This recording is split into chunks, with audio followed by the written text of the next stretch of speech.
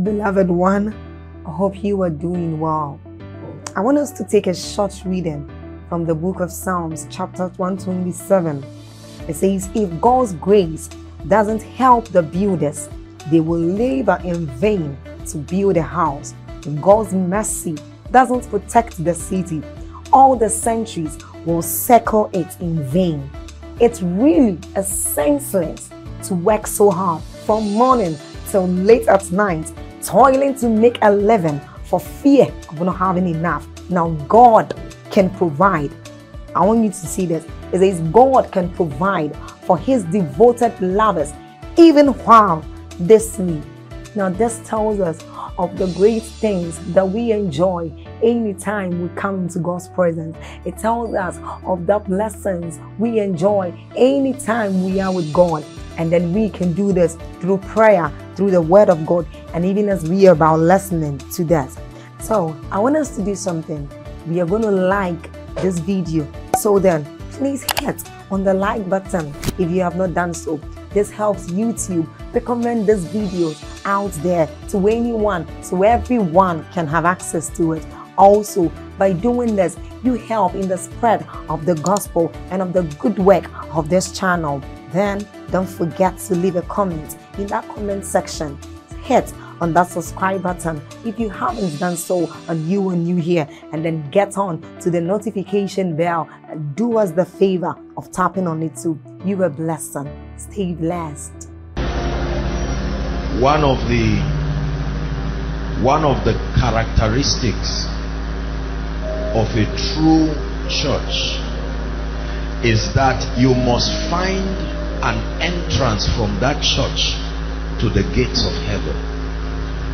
When Jacob in chapter 28 of Genesis the Bible says that he was tired and he got a place placed a stone there and the Bible says he laid down to rest.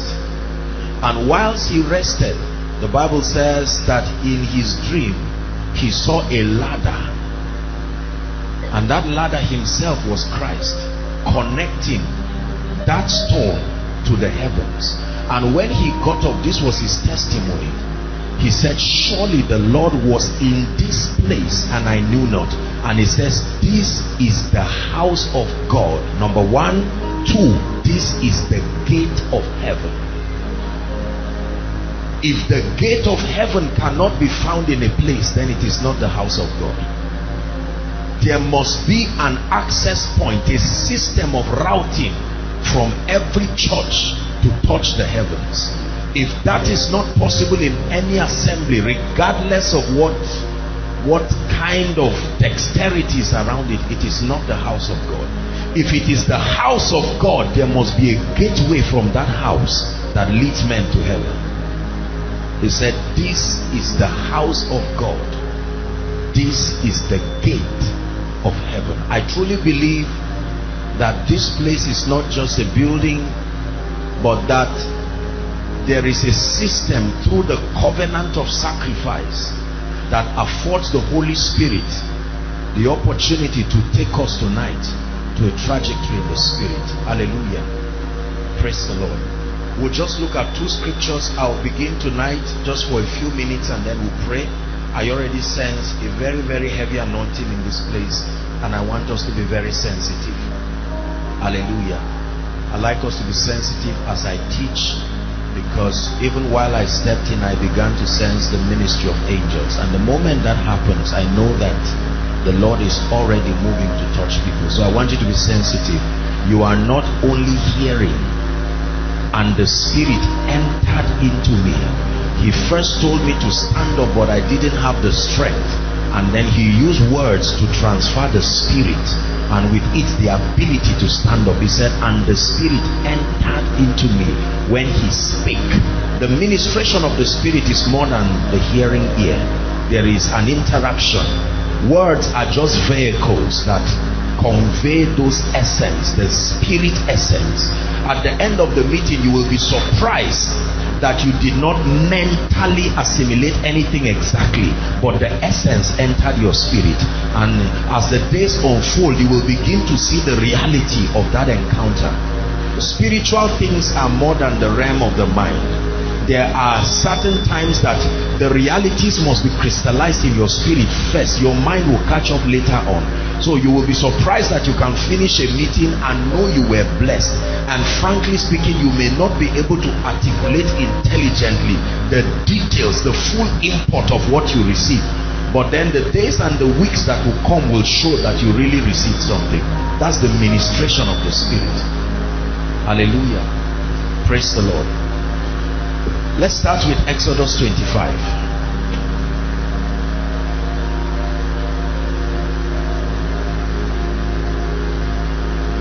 The secret of great men recorded in scripture, the very one event in their lives that launched them to the realms, the dimensions in the spirit that made them useful for the kingdom.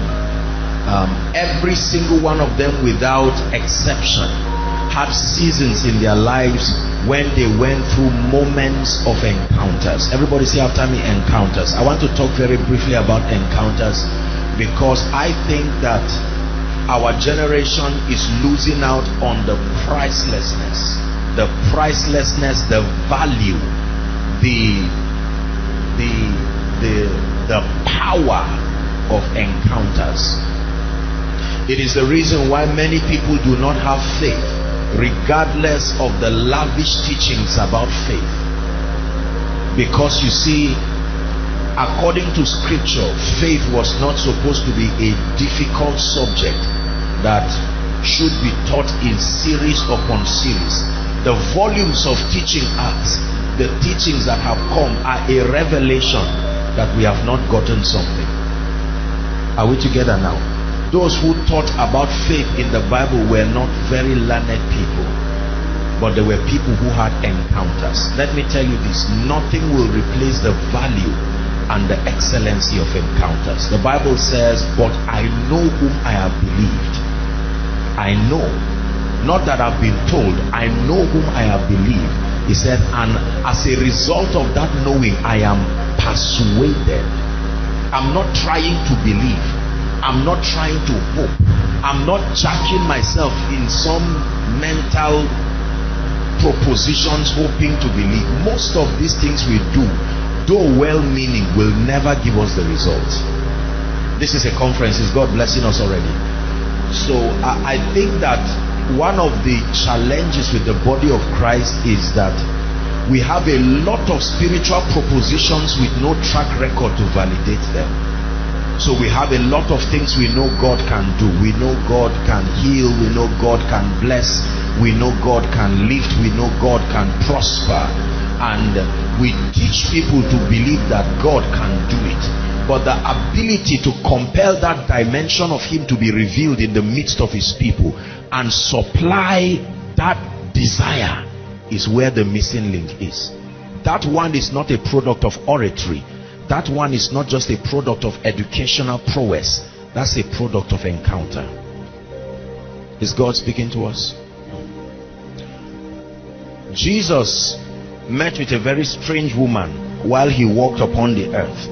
And the Bible tells us that she had a conversation with him and later discerning that he was a prophet.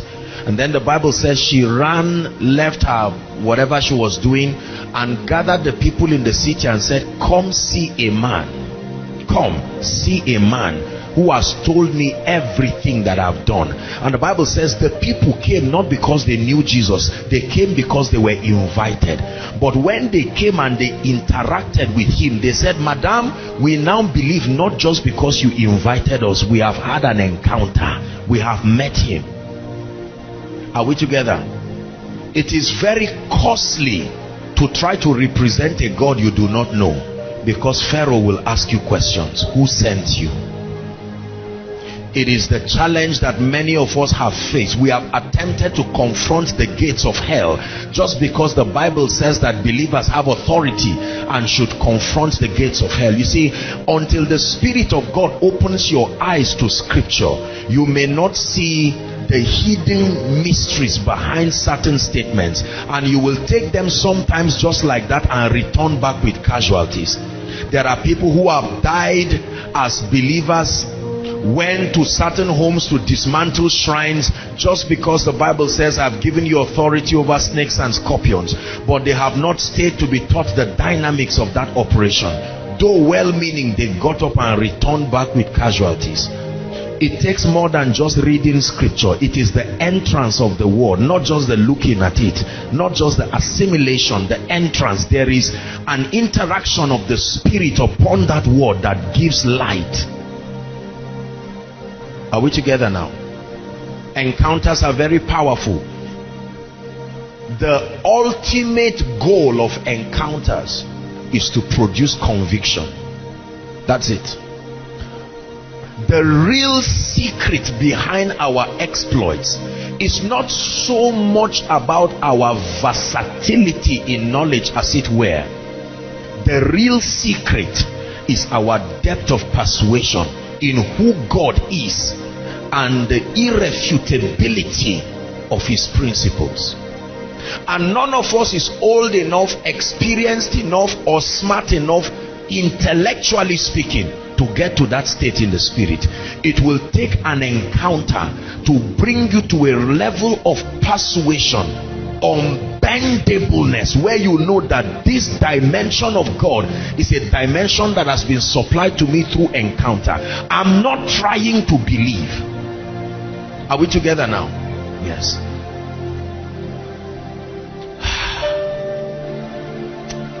There's a lot to talk about but I, I just want to i'm just starting somewhere with us. The first thing i want you to know is that the purpose of encounters is to create conviction. Not necessarily the message that comes from them. Conviction. The human spirit has been so deadened by reason of the nature of the flesh it will take an impact an experience that is higher than every other event that has happened in your life to make your spirit that alive to God. Are we together now we have seen many things in our lives. We have seen accidents. We have heard the cries of children. We have seen guns. We have seen all kinds of things. So those things don't surprise us. And when God begins to propose his ways we join God in the midst of those many events in our lives. And so there is nothing special about him and what he's proposing to us. It will take an encounter to push God and his purposes to become a priority. There is an event that must happen in your life so impactful that that dimension of God becomes your message. Not because you learned it. It's an encounter that drives you. The Bible says when you read Psalm 24 the Bible says there is a generation whose mandate is to seek the God of Jacob. Are we together? I'm just trying to articulate myself so that we can see how we can make sense within a very short time. That there is the God of Jacob. Now listen very carefully. The Bible says a generation will seek God in the similitude of Jacob so Jacob becomes a portrait of encounters. Are we together now? You want to understand that scripture, you have to go and study the life of Abraham, Isaac, and Jacob.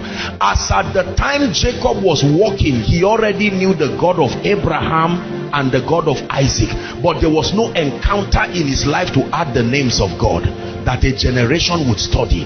As at that time, we did not know the God of Jacob and the full import of what that dimension revealed. You see, when you hear the God of this, the God of Isaac is not the God of Abraham. Is the same God, but the dimensions are different. When you invoke the God of Abraham, there is there is a context that that revelation captures. When you invoke the God of Isaac, there is a context it captures. So God's design for every believer is that your lifespan should be long enough for you to name God through your experience. There should be a name that your your work gives God so that the generations after you will study. Are we together now? There was a kind of business Abraham did with God that made God say, I am the God of Abraham. When he appeared to Jacob, he called himself the God of Abraham. So when you call on the God of Abraham, he's compelled to move based on a covenant that forces him to move in a dimension. The Bible lets us know that Hagar began to cry alongside her young lad. Two of them were crying of thirst, and the Bible says only the voice of the young lad was heard in heaven. A woman is crying a baby is crying heaven only hears the voice of the baby because it came out of the loins of abraham. God was not hearing the baby he was hearing abraham. Then there is the god of isaac. That's a dimension on his own now it was left for jacob to use his life and create a name that a generation will study. Had he not gone through that experience we would not know that it was possible to encounter God that way. This is the generation of them that seek thy face O Jacob or O God of Jacob. The first time Jacob had an encounter Jacob was not prepared. The Bible says he said the Lord was in this place and I knew not the second time God would appear to Jacob, Jacob was in a state of frustration. Notice that the Bible says that every time God would come to Jacob, it was at a night time. There is something about the night time and encounters there is a level of frustration and discomfort and pain that is necessary for men to know God.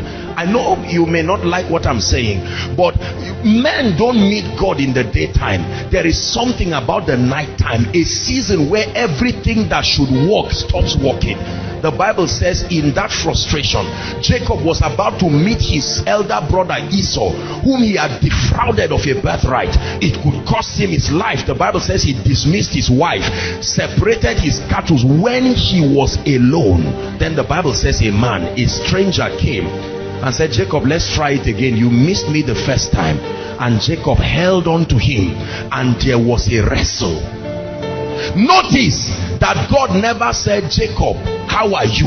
The moment Jacob was about to be lifted, the issue of name came. What is your name? What is your name? And he said, I am Jacob. He said, No, you have done something that has changed your name. From today henceforth you will be called israel. Listen carefully. He said for as a prince you have fought with god and you have prevailed. Something about your hunger made you to hold on to god. You broke a lot of spiritual rules and your hunger still excuse you. For that reason your name has been changed and then the Bible says that the, the angel of the Lord himself said, release me for the day breaketh. He said, I won't let you go. This desperation must release something to my destiny. And then the Bible says, as soon as that encounter was over, it said the sun arose again and he called the name of the place Peniel. Peniel means the face of God.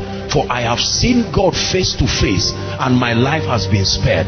The, the, that, that, that impact was so much that God's covenant people today are not called Abrahamites.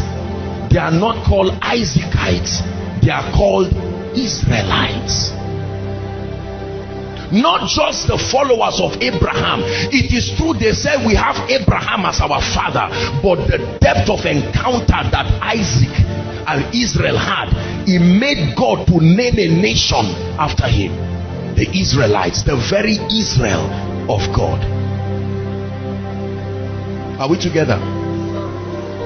Genesis 25. Exodus, I meant to say just two verses very quickly. There is a location where God meets with men. My assignment tonight is to show you. God is everywhere, but he does not meet men everywhere. No. God is everywhere, but he does not meet men everywhere. Are we together?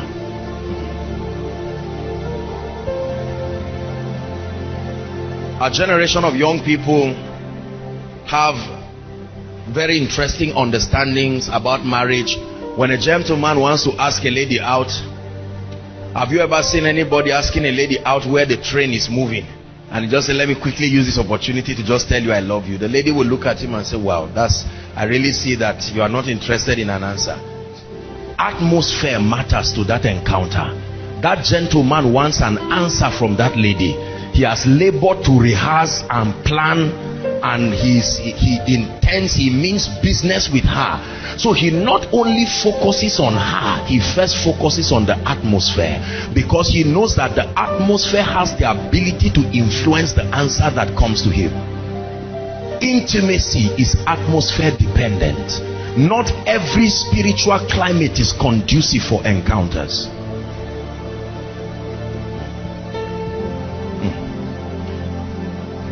Exodus chapter 25. We'll start from verse 20. Are we there?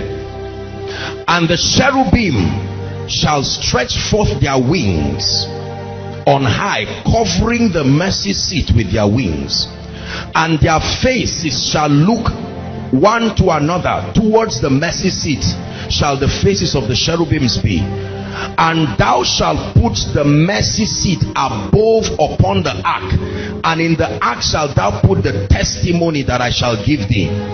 22 and there I will meet with thee. And I will commune with thee. What is the location? Above the mercy seat. Between the two cherubims. That's where you will find me. Look up. Hmm this is a spiritual location that if you can construct that thing you will find me.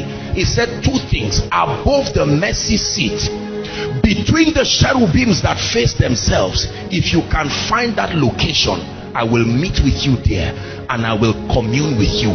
There are other locations where I will meet with you but I will not commune with you.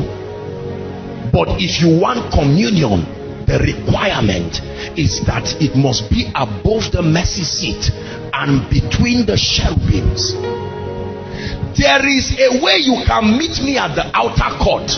I will meet with you and i will give you an information.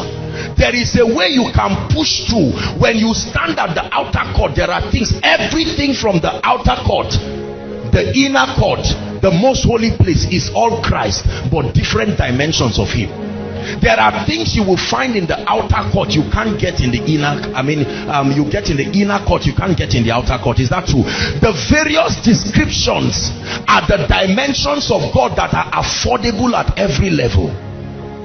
When jesus said i am the way the truth and life it was a description in the similitude of the tabernacle are we together now? There are dimensions of God that if your Christian experience stops at the level of the outer court, you have found Christ. You have entered the door, but there are limited dimensions of Him that are affordable for you.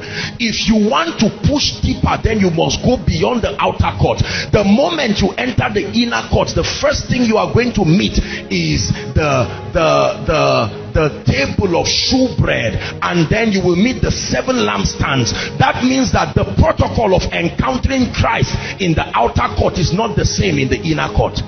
There are things you can take casually at the outer court but the moment you are stepping into the inner court there is a greater demand for meticulousness. Are we together the last thing you encounter before you get to the most holy place is the altar of incense. The altar of incense is the ministry of prayer. That is the authorized it is the closest object. It is the closest spiritual posture to the most holy place.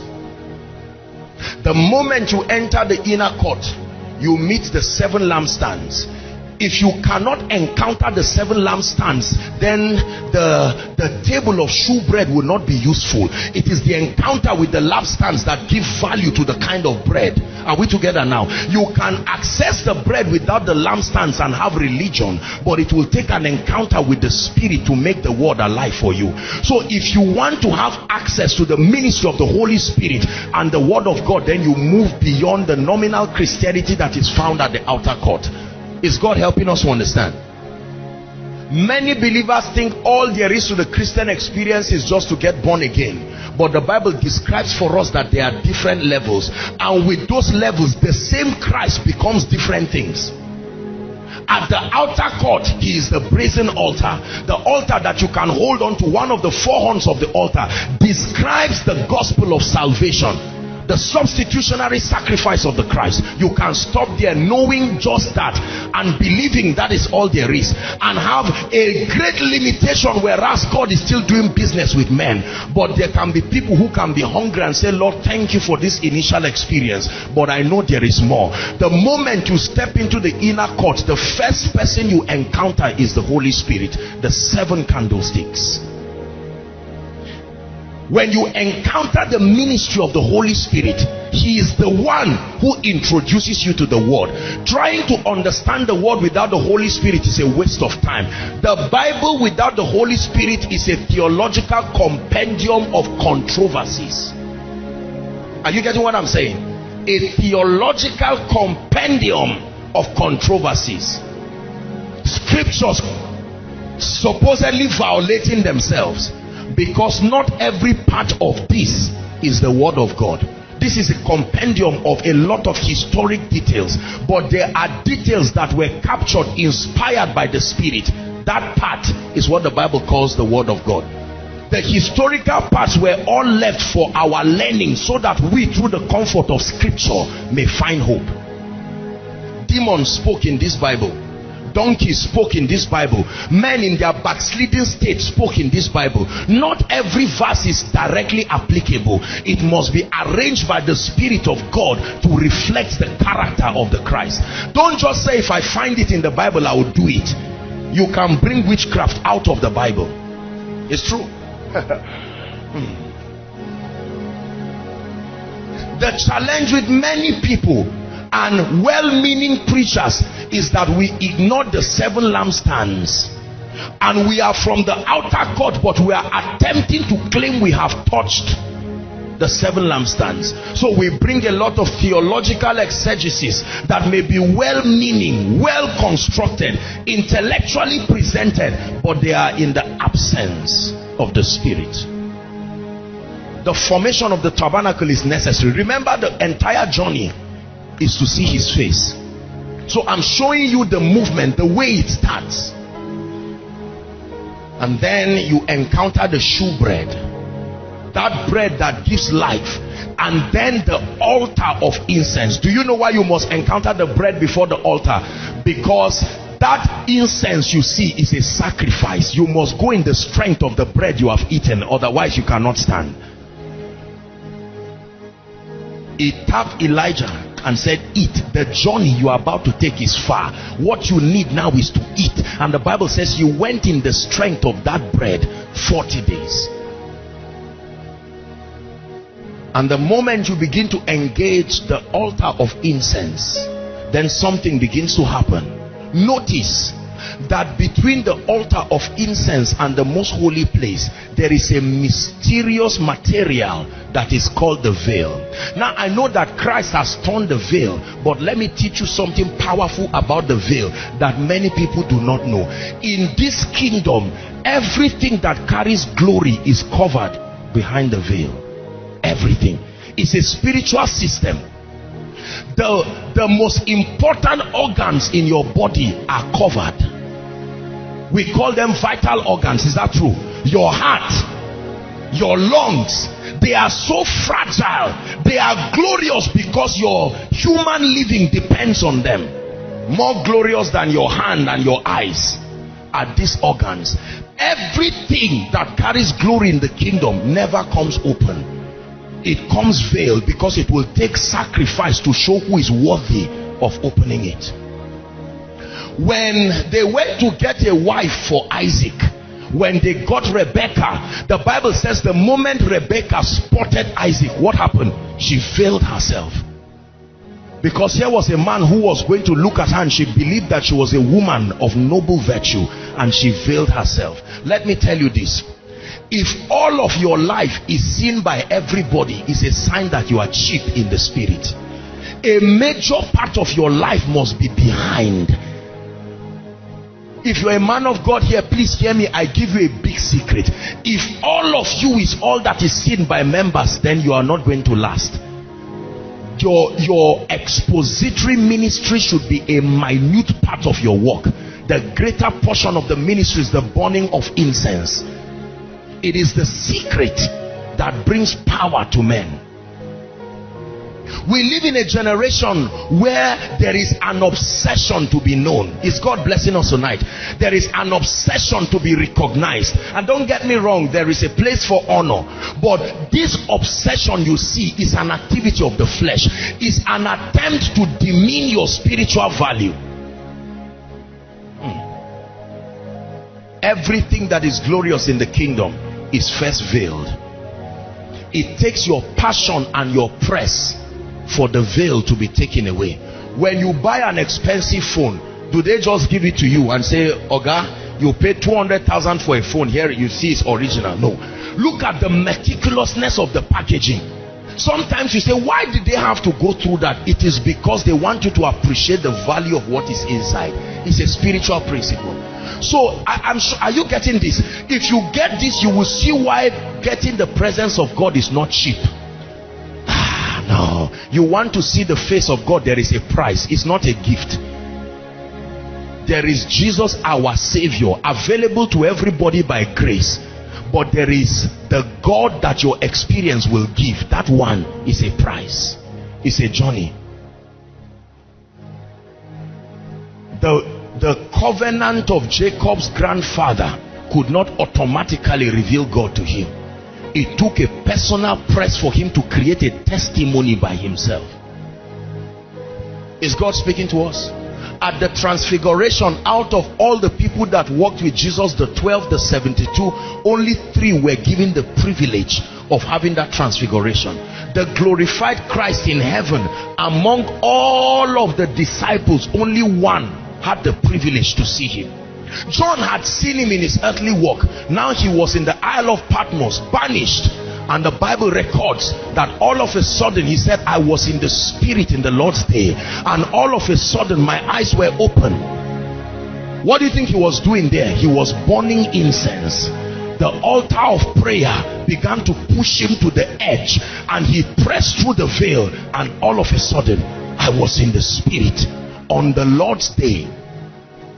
If many people understand that prayer is a ladder that leads men to encounters it's not just a system to get breakthrough in the spirit.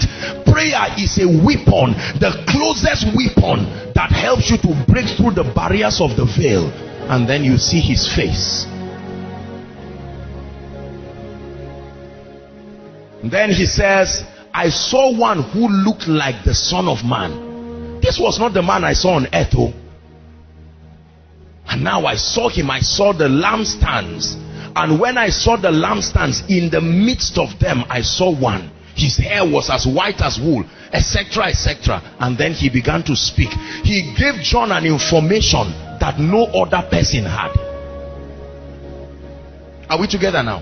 He began to teach John that there were many churches, but there are seven that are prophetic within that season seven churches that never believed they were related but he told them the formation of these seven churches is what controls my agenda on earth within that time. He said john right this privilege i'm giving to you is because you have seen my face. There are certain informations about god you will never know just hearing about him. It's an information that until you meet him an encounter is not just reading your bible and understanding alone an encounter. Remember the bible says that the scriptures testify of me. The scriptures are supposed to lead you to a person. If your bible study does not lead you to a person you are not doing anything anything more than reading a quran. You are not doing anything more than reading a some zodiac mantra and all of that. The scriptures lead us to a person. I am the way you follow that way you will find the truth. You study that truth it will lead you to a person who can give you life. That's the progression. It is first the way then you meet reality the spirit of truth. And when he comes he will guide you into all truth. He will begin to show you and then you will encounter him. That encounter is what brands you and gives you a message that encounter is where your message comes from. That encounter is where your ministry comes from. Because with that encounter will come the anointing to prove you met that dimension of God. Above the mercy seat below the cherubims if you can create that location in your life I will meet with you and then I will commune with you. When you back up to chapter 19 the Bible shows us that God wanted to reveal himself to the nation of Israel and God gave Moses specific instructions. He said, go and tell the people for three days that they sanctify themselves because I am about to show up. I will come. I want to reveal myself to the people so that they will believe you Moses. Moses you know me. You have seen me. But these people think you are pretending every time you say you have met me. So let me give them a similitude of that experience so that it can create conviction in them. Do you know the reason why our Christian experiences are not very strong? We don't have encounters. We have informations but no encounter as powerful as John the Baptist was he didn't have an encounter. So John the Baptist ordains Jesus and then in the height of his frustration having been told that Jesus was the Lamb of God having been trained in the wilderness for many years John is under serious frustration and John sends a message are you the Messiah? Or should we expect would you, expect that from John that's the same way a preacher who has been preaching for 30 years can turn and say, do I really believe in Jesus? After the miracles of the crusades, if I believe in Jesus, where was he when this was happening? Where was that when this was happening? But there is a way you can have an encounter that you said, though he slay me, yet will I trust him I have I have known him is like oh occult. I have been initiated beyond. I can't lie that I do not know this dimension of him.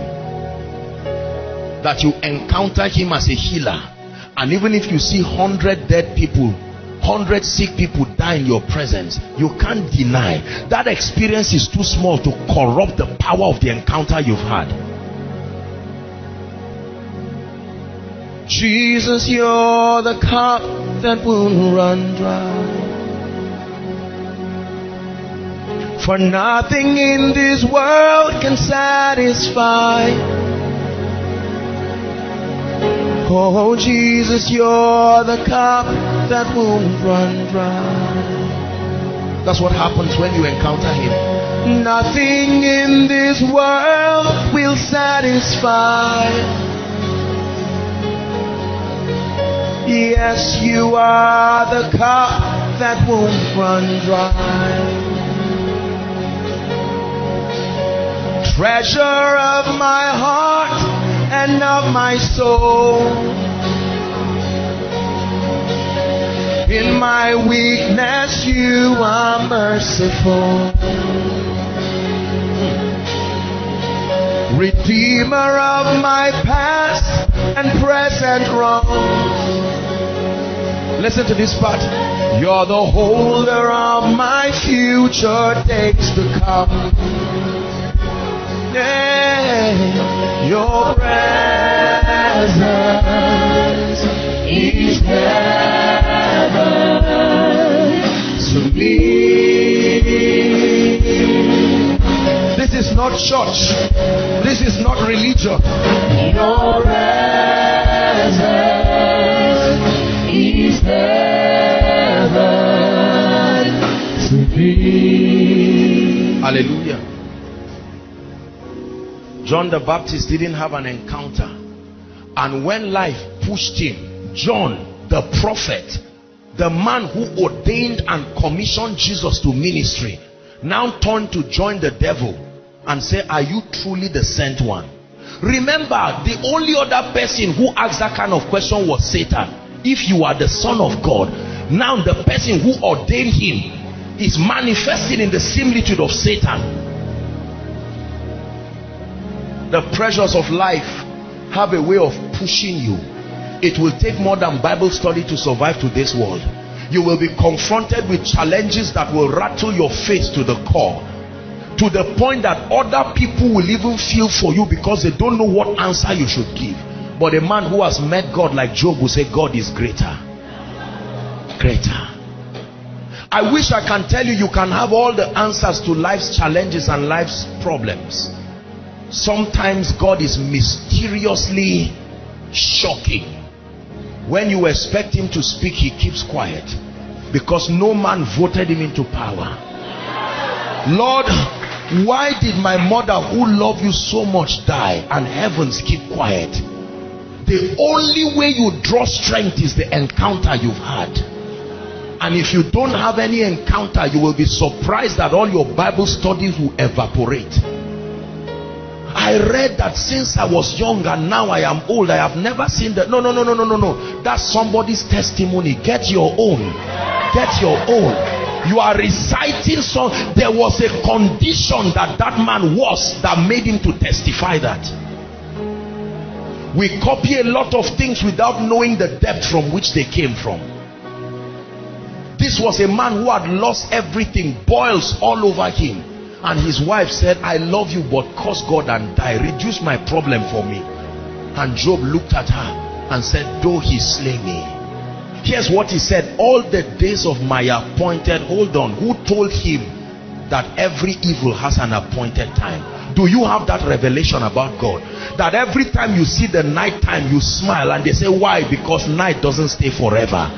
It's a revelation that gives you confidence. You have learned by doing business with God that every time you see darkness no money for rent no food people look at you and say sister you are a beautiful lady. You know what to do. You say no I have a message came from my encounter that weeping endures for a night and so you stand gazing at the sky. They say, what are you looking for? You say, at the slightest manifestation of dawn. Because when I see dawn, I know that an end comes. Every manipulation of witchcraft waits for the mystery of the sun and the moon. And so every time the moon is giving way to the sun, there are powers that cannot operate again. I begin to rejoice because of understanding. Many believers are weak we are weak not because we don't go to church but because we have not pushed to the realms of encounters. There are things that I have seen in my life that will make me to never curse God. You've heard me say that I love him. And it's not just because I'm speaking as a preacher. You wait until I tell you my story and I tell you where God is bringing me from. Then you will know that whatever God does today has nothing to do with my love and my relationship. I've gone through the furnace of fire and I know him. Listen, let me give you one secret tonight and then we'll pray. Are, we, are you ready?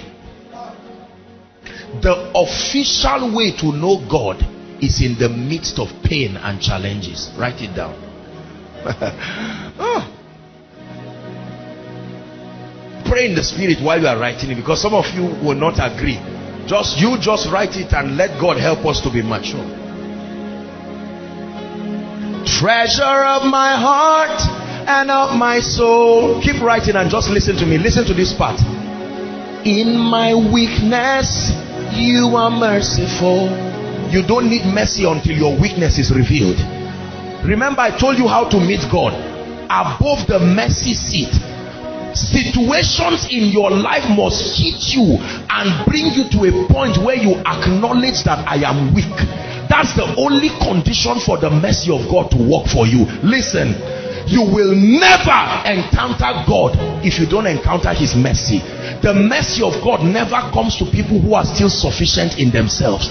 So God will allow orchestrations around your life to beat down your pride until you come to a point where you say Lord I'm anointed but this one is more than my power. And God says you are inviting my mercy let me show you how people know God in this kingdom. I'm a man of God. You will never know him that way. The first time he appeared to Jacob, Jacob was a man of God with no challenges. And God said, no, you can't know me this way. And he allowed him. He went to the house of Laban and suffered and was defrauded.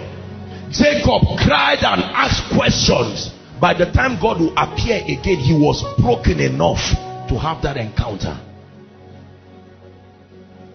The Bible says, blessed are they that hunger and thirst. You won't believe that I've not even started my message. We'll just leave it and continue tomorrow. But I just want to show you one key tonight. Don't waste your pain you are wasting an opportunity to know God. Don't waste your disappointment. We live in a kingdom where many people say, if you know God, why is this happening to you? Tell them to keep quiet. There is an irrefutable spiritual system designed for saints to become men of power. Listen, no one encounters power without the way to the throne is the cross. You will never arrive the throne jumping the cross. I wish I can tell you, you will just receive an impartation and laugh and go. No. Those situations will break your pride. You will sit at a point where you, your only prayer is your tears. It's only your tears that will be able to speak to God. It's not lack of spirituality. Jesus got there. On his way to the cross, he passed through Gethsemane. Your Jesus. Your Jesus. As I'm talking, some of you now are already seeing that so what is happening in my life. I thought it was because i was backsliding. Men of god told me i don't love god. I, I was surprised. All of a sudden the carryover just came. I, i'm an anointed man. All of a sudden my membership just reduced. The more i'm praying all of a sudden the gentleman said he will not marry me. I have kept myself. What is the handwriting on the wall? I came to interpret it to you. God is luring you he wants to introduce his mercy but his mercy will never never come to people who are sufficient in themselves. Treasure of my heart and of my soul. Listen very carefully. It's in my weakness you are merciful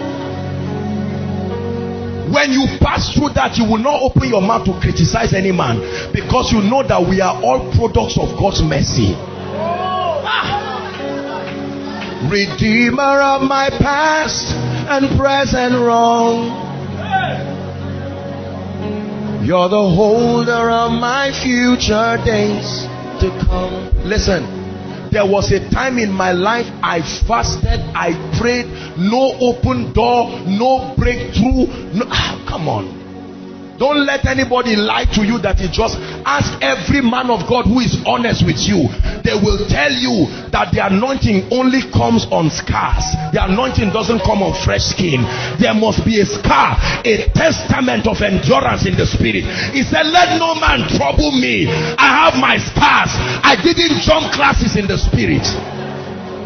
Listen, you are listening to me right now everywhere.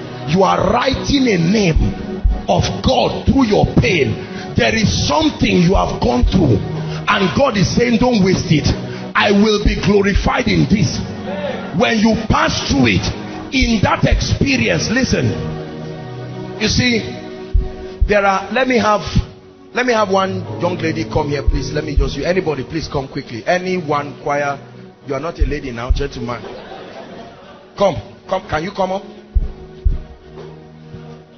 this lady can be, I apologize if you are somebody's wife, just an example. Are we together? Now watch this. This young lady, it's easy for her to come to church and they say God is faithful, God is mighty. There is no, her experience has not captured the need for that revelation. Her life is too innocent to understand that dimension. She's never been disappointed. They've always paid school fees for her everything has been rosy. So when they say let's cry for message oh god pastor don't waste our time. And god says don't worry. There is already a curriculum that will force her to need that sermon. You continue to walk one day she enters a relationship with a gentleman and all of a sudden she turns to young ladies and says ah, this thing is so easy. What are you praying for a life partner for like this? Keep going. One day when she has announced to everybody that she wants to get married then the gentleman says i'm not doing again. And you allow the lady all of the supposed shame and embarrassment brings her to the point where she will now join you to sing that song. Now she has an experience that forces her to need the mercy of god. The mercy of god is not for sinners. It's not just an attribute when you have sinned maybe like done something wrong. The mercy of god is the system that authorizes his presence to meet you I'm showing you remember we are discussing Exodus 25 that it is above if the mercy seat is not there I am not there If your life is too innocent of an experience that needs me, you will not find me. Treasure of my heart and of my soul. It's in my weakness you are merciful. Hallelujah. So this lady comes to a point where she's broken. Ordinarily, when she comes to church to kneel down worship, she's one, ah, there's a guy looking at me somewhere. You are too alive for the mercy of God. But there is a way that she will return for service that night, unusually early. Number one, that's a sign that mercy is about to come. Number two, they raise a song that has nothing to do with kneeling down. And the lady is already crying and rolling. And you want to quickly touch her. God says, don't you dare touch her. Leave her. It is that condition I'm looking for. There is a name for it. It's called a broken and a contrite spirit. It's a posture in the spirit that cries for help from heaven. Are we together? And the lady comes and says, Lord, I know that I'm beautiful, but now I have a confession. Every time they say a man can receive nothing except it is given, the truth is I never believed it because I knew that my beauty was something to write home about. But right now, in sincerity, I acknowledge that you are the giver of everything. My encounter through pain has revealed to me that the race is not to the swift and the battle is um, you are no longer reciting scripture your life is writing something about God. Tomorrow, when this lady is counseling another proud young lady who will not listen, she will tell her, my dear, am I ugly? She says, no ma. Say, sit down. Let me give you a story. In 1971, I was not always this humble. I used to make noise just like you. But something happened to me. Some of you, it is because of your pain that you came for this meeting the ordinary you will never come for this meeting. Yeah. it's in my weakness you are merciful. Have you ever had a challenge in your life that you sat down outside and not even mosquito could stop you that's what pain let me tell you those are useful experiences. Pastors let's be careful how we help people. Lest we rob people of an experience that should lead them to the mercy of god. There are times that someone is so broke god is about to give him an encounter as jehovah jireh. You want to quickly come and help him? God says leave him. This man will never believe that there is seed time and harvest because he has been receiving harvest from seeds he didn't sow so in his theology he believes that you are just making noise leave him I know my mother will send money for me in two weeks and one month nothing happens. I know my other uncle will help me and he just said that the uncle has gone abroad. I know that as soon as I graduate this uncle will help me and you hear that he has resigned. Then like Jacob, all that you have you must dismiss them. He had to tell the wives, I love you but now go. You will interrupt my encounter all my cattle, my possessions. The Bible says when he was alone. Do you know what it means for a man to be alone? It means everything you put your strength and confidence on. God brings you to a point where you know that they are wonderful, but they are not as needed as him. The jealousy of God will keep pushing everything that tries to be him in your life until you are left alone. Then he comes when he comes to you, he comes in majesty. When he comes, he finds out. The Bible says before God would talk to Jacob, he touched his thigh.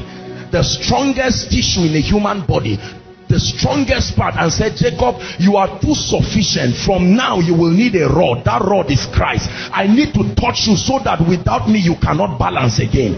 It's a state of inadequacy forever. I need to create a vacuum that only me can fulfill in your life. You don't need a rod and staff to comfort you when you are complete. But now i touch you so that my rod and my staff they will comfort you Hear me, brothers and sisters. When it is time to cry, cry honorably because that cry is leading you to the mercy seat. Don't worry about those who will look at you, man of God, and say, I knew you were not called. If you are called, should you be like this? And the ego you are being stung you organized a miracle meeting. Nobody was healed. The the angry people who came sick looked at you and said i will write a newspaper about you. I've always been suspecting. You had the guts to write healing waves. Um, i'm looking for a title. Waves of healing from heaven. Guaranteed and the people came. And in that pain do you know it is in that pain you will sit down and start reading all the healing scriptures in the Bible. Not to preach and say, Lord, I have come to a point where I must get this thing for real. All of a sudden, the mercy seat is calling him. Calling him. Until then, you are just reading, you studied Kenneth E. Hagin's books. Oh, yes, yes, and all that is stories. You must have a track record. When Jacob was alone, my time is up, but we are going to pray. Listen carefully. Many of us have not met him because you are not alone. You are with your money. You are with your certificate. You are with your wife. You are with your uncle. You are with the complimentary cards of those who can help you. And God says those things are driving my face. When you come to a point where you know that if God does not help me, there is nothing I can do. You have captured my heart, consumed my heart with your love.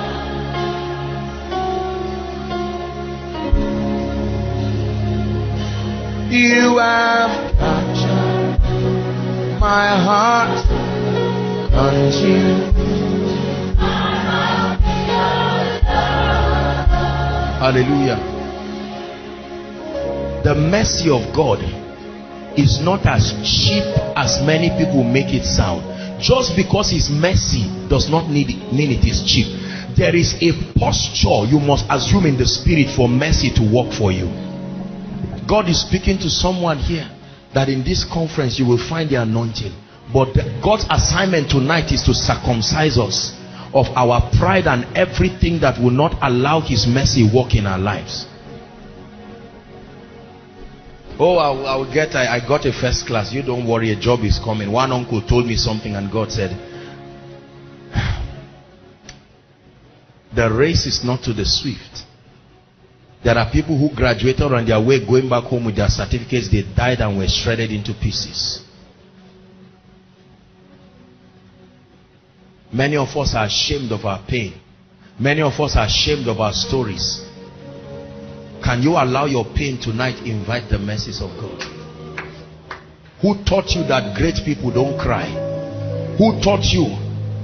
One of the four living creatures that reflect the glory of God in the throne is the face of a man. God made provision for the humanity of men to be captured in the throne room part of the Christian experience allows for your humanity to find expression. Jesus wept. Listen to me, I'm speaking to you. Jesus wept. It is okay to cry. Some of you, you are sitting down right now. There are things that have challenged you.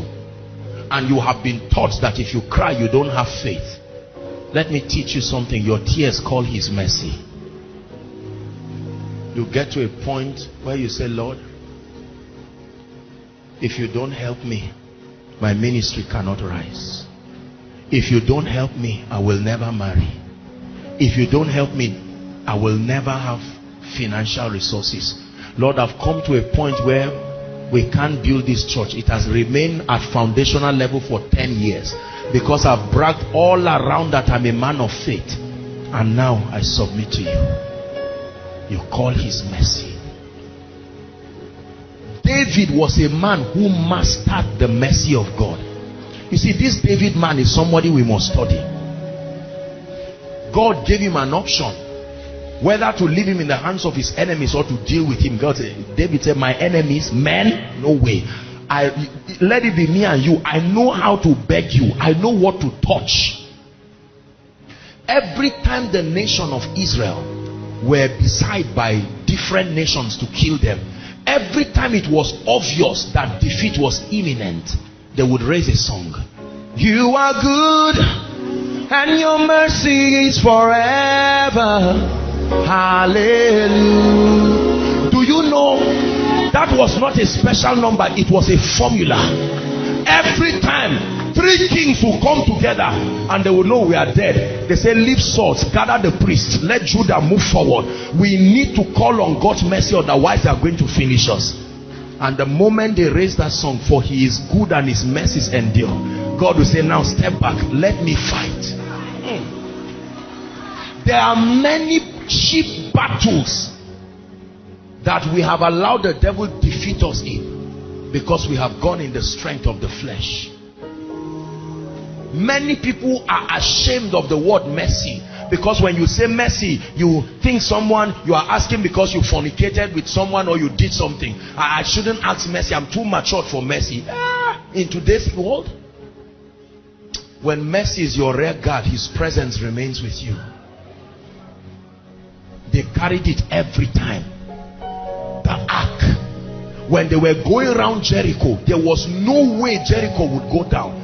And God said, guys, I don't want to hear your voice now. Let the ark speak. Seven days the ark was speaking while men were quiet. At the seventh day, he said the ark has won. Shout. One shout brought Jericho down. It is of the Lord's mercy it is of the Lord's mercy. It is of the Lord's mercy that we are not consumed. Above the mercy seat, between the cherubims, that's where you will find me. If it is my face you are looking for, I have a location. When I search the earth, I see men who are Christians, but they, are, they don't assume that posture. They don't need my mercy. Their self-sufficiency receives my salvation, but drives my mercy. So you are born again, but you never can rise. This man standing before you is a product of the mercy of God. I know it. I'm not ashamed to say it. That's why you see him do the things that he does. When you look at me, you are looking at a man who God has shown mercy and grace. He said, Thou shall arise and have mercy. I want to favor them, but favor cannot just come until mercy goes before it. So, oh God, arise and have mercy upon this family.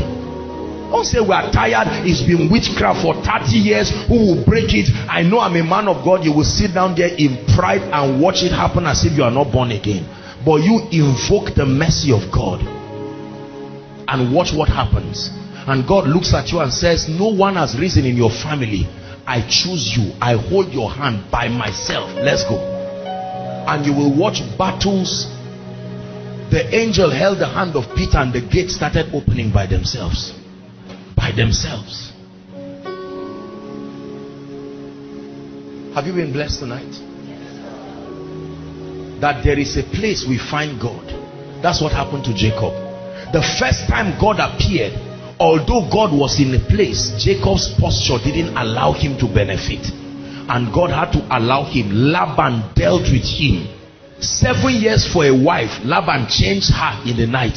He got up in the morning to find out that this was not the woman he paid dowry for. Started another seven years. He told Laban, please, let me go and have my own family. Laban refused. In that frustration, he left. Now Esau was going to come and he didn't know what would happen to him. That frustration led him when he was alone. God said, my mercy has been trailing you. Now I can come. Some of you, because of this message tonight, let me tell you, you will receive very strange visitations. God will tell some of you for 12 years, I've been waiting for you to hear this sermon. I would have blessed you since, but every time you stand, your sufficiency is in yourself. You will never arrive that way. Now step back and let me step in. The day I met the Lord, I had fasted and prayed and done all these things. I wasn't fasting that day. I can't remember praying anything. I was just lying down, but with a desperation a desperation. I will teach you on hunger tomorrow. Desperation. And all of a sudden, Jesus walked into my room. I can't remember inviting him. I honestly can't remember. He walked to me. When people ask me today, What is the price to see Jesus? Um, um, it's, it's a bit difficult to answer. I can't tell you there is no price, but I can also tell you there is a price. The price is the price to get his mercy to come your direction. That's the price. When the mercy of God, in fact, it is the price for everything in the kingdom. If the mercy of God can come towards your direction, brothers and sisters, you will see people. Do you know in the Bible, many people did the same thing and God rebuked some and left some? Aaron and Miriam insulted Moses. The glory of God came, left Miriam leprous as snow, and then nothing happened to Aaron. How about God? Your grandfather worshiped idols, my grandfather worshiped idols. And all of a sudden, God is lifting me as if they serve Jesus all over in our lives. And then He leaves you like this. The difference is mercy. You will never understand grace till you understand mercy. Most people who teach grace destroy people because they don't teach mercy. My life today, I repeat, is a testimony of his mercy. The day Dr. Myles Munroe died, I was in Warri, I think Warri, Delta State. And that night before I would go to sleep, my chest started paining me. One of the great mentors I had in my life, it pained me when the man went to be with the Lord. I was to, I was planning already to meet with him a few months before he died. And um, when I heard 5 a.m. in the morning, I got a text that he had died in a plane crash. I said, my God, how could a man who was so pivotal to the revelation of the kingdom. Now, it doesn't matter the situations that surrounded his death. There are many debates as to this and that. My job is not to create the theological debate, but it reminded me again how many planes would have crashed with me inside. It's not just saying I have faith. Sometimes we need to humble ourselves for once and say, Lord, I know that I have faith, but this one is your mercy. It's your mercy. It's your mercy that Moses is growing in the house of Pharaoh and they did not see him. It is the mercy of God. The center of wizardry. There was the very person Satan was looking for. He was in that house eating the wizard's food. Yet the eye of witchcraft could not see him. Think of all the things that God has done in your life that you know he said, if the Lord had not been by our side, now may Israel say, if the Lord had not been by my side. I have seen anointed men and women of God who ministry doors have refused to open. They love God. I testify that they love God. Your goodness is real. I testify. Your goodness is real. Your mercy is real. I testify. Your mercy is real. Your favor is real. I testify. Hallelujah. Thank you, darling. God bless you. We are going to pray. Two prayer points tonight. The first prayer point. Um, what's that song? Rock of ages, cleft for me. I'm establishing the prayer point. Let me hide myself in thee. Rock of ages, cleft for me. Let me hide myself in thee.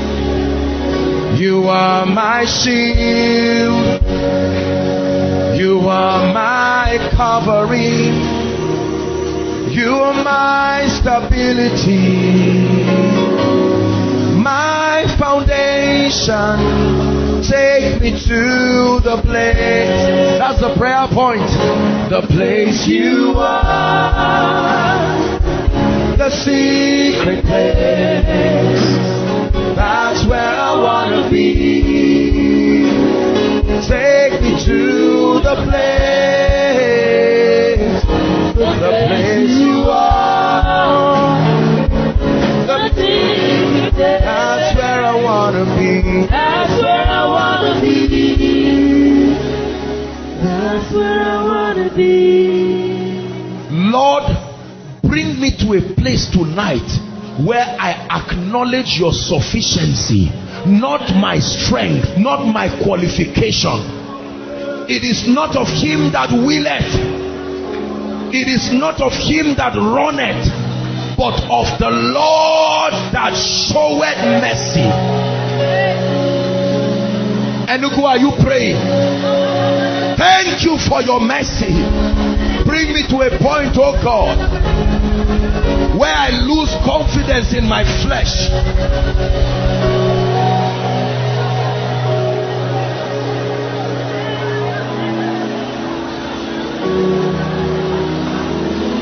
Without you, I can't do nothing. Without you, there's no life to me. So I need in my life today. Lord, I need you in my life. I need you in my life today.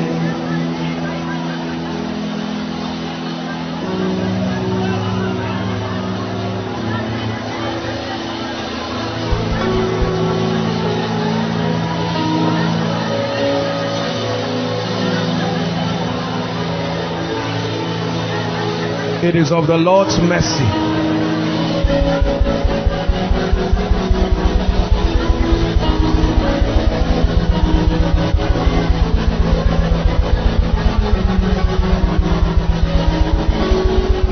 Talk to the Lord. Bring me to a point, oh God, where my pride is buried in your mercy. Bring me to a point, oh God, where my self sufficiency is buried in your mercy. It's not just because I pray. It's not just because I have kept myself.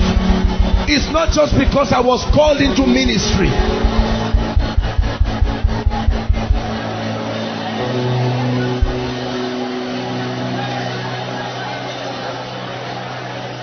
Hallelujah. Hallelujah. The second prayer point. If you can pray this prayer point, with the sincerity of your heart. Lord, for the sake of your name, show me mercy. Pray this prayer and watch God arise in ways that will surprise you. For the for your name's sake, show my ministry mercy. Lord, I've been fasting for this anointing. I've desired this prophetic grace. I've desired this apostolic anointing. I've desired a change of story. For your name's sake, I cry out for mercy.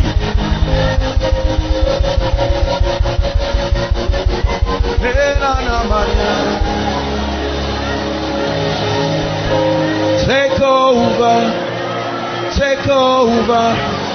I have come to the end of myself. Take over, take over. I have touched the end of myself. Please take over, Jehovah. I have come to the end of myself. Hallelujah, hallelujah. I have come.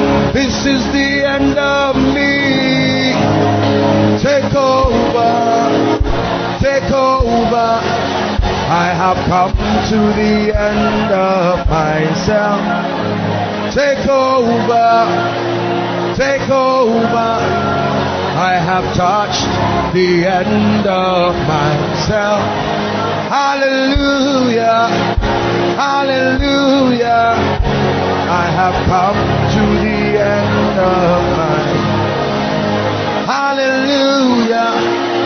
Hallelujah. I have come. I have come. Hey, take over. Lord, I've fasted stop masturbation. I've fasted to stop pornography. I've fasted to stop a life of sin. I've prayed. I've done all I know to do. I've prayed. I've given. I've. For the sake of your name, show me mercy. Hey, hey,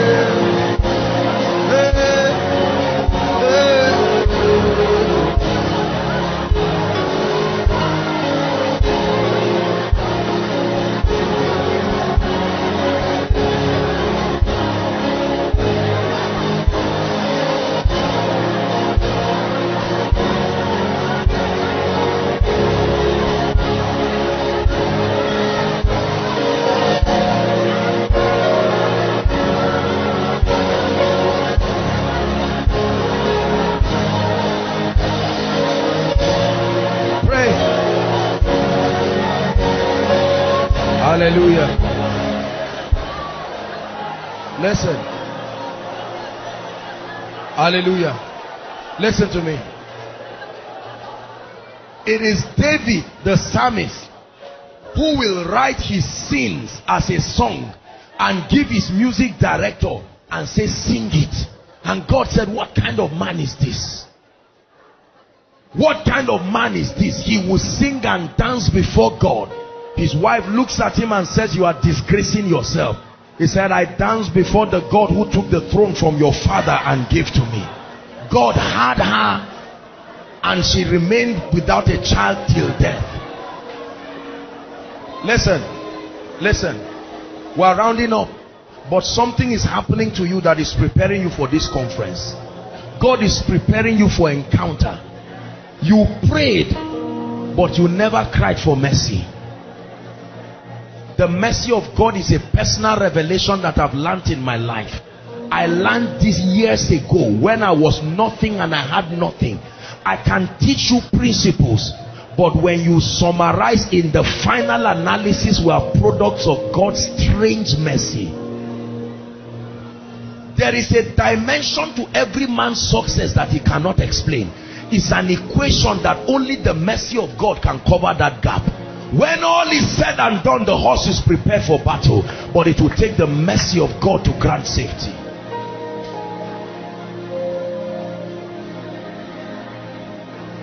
There are people praying. We are going to round up soon. But I want you to pray just one more prayer. Lord, I take everything that looks like my achievement, like a trophy, I lay it down to you. Lift your voice and pray.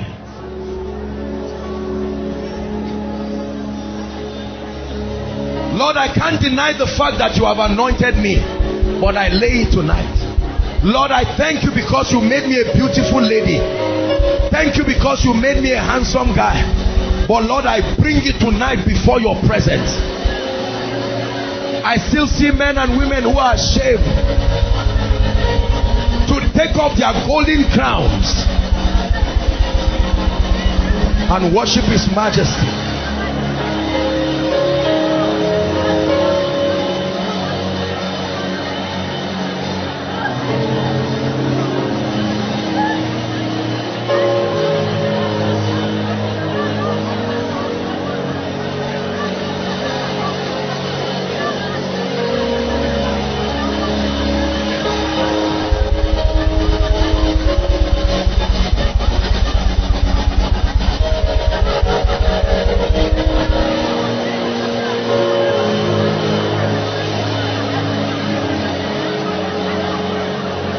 Lord, you have everything.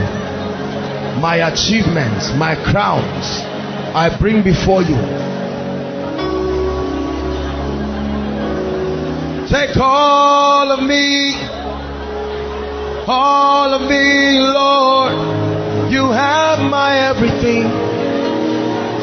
I give all of me, all of me, Lord. You have my everything. Take my everything. I release my everything. You have my everything. Use my everything. Take all of me, all of me, Lord. You have my everything. Take all of me, use all of me.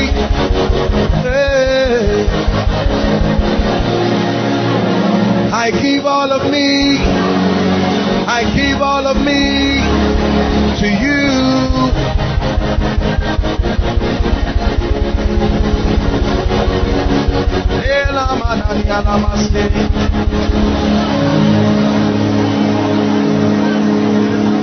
He said, I beseech thee, brethren, by the mercies of God, that ye offer, offer, offer the incense, the incense of sacrifice. That you will offer and allow yourself to be burned, and the smoke that rises from you, like the sacrifice of Abel, will rise to the heavens, and God will smell a savor that will compel him there.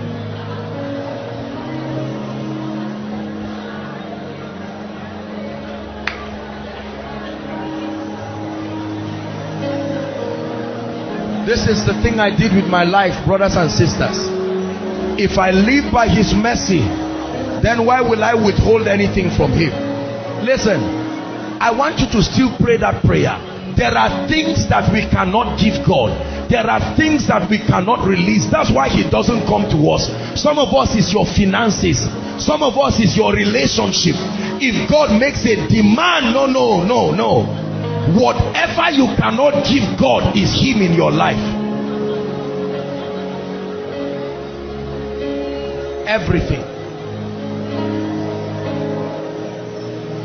Can you pray and say, Lord, take everything. Take everything in my life that contends with you. Not to take it away from you, but to bring it to its rightful position whether it is money, whether it is anointing, whether it is ministry, whether it is titles, whatever it is.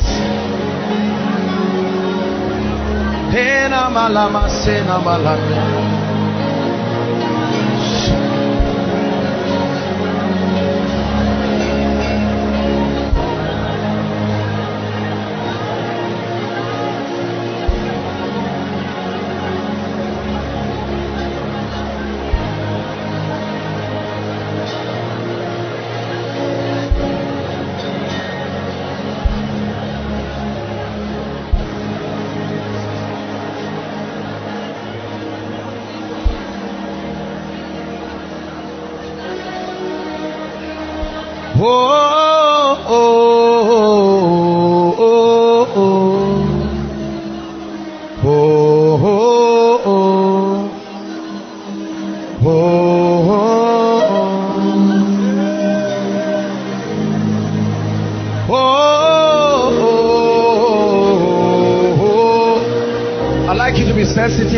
singing this song because the Lord said I should sing it. While I'm singing this song, something will happen to you. Just a few minutes.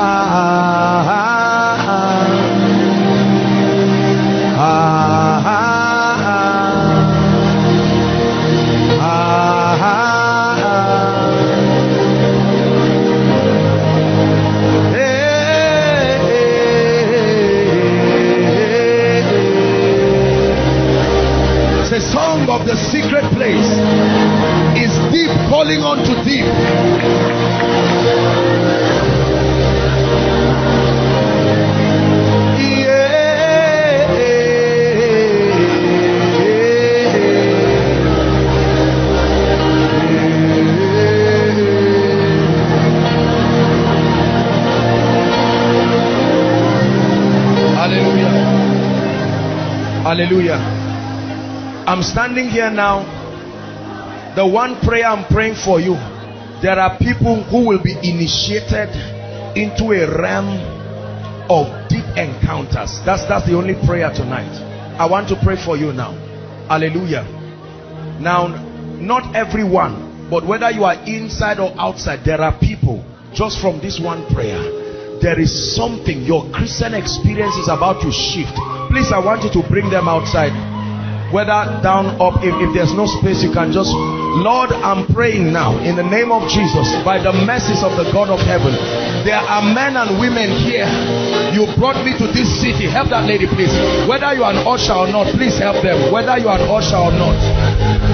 I stretch my hands now across this place. May the angel of the Lord's presence, the angel of encounter, the one that brings men and women into realms of encounter, may he begin to draw men. Help them, please. Don't let anyone injure himself around you. Bring them out, inside, outside. May that angel, my God, my God, my God, I see ladies. There are women, the spirit of encounters. I call you by the spirit. Yeah,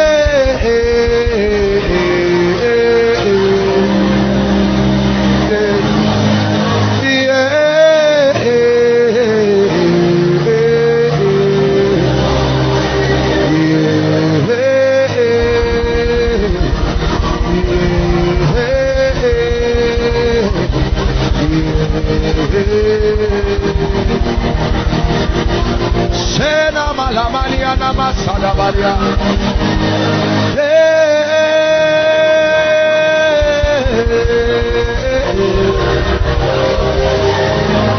Oh.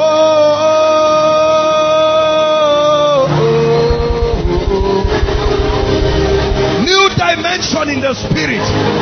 Eyes that see and the ears that hear. No more nominal Christianity. By the spirit, come into a realm. The spirit of God is saying, Come up hither. Come up hither. Come up hither for the sake of that call that is upon your life, for the sake of the revival that must happen in this city, for the sake of the election, the prophecy upon your family. Come up hither tonight.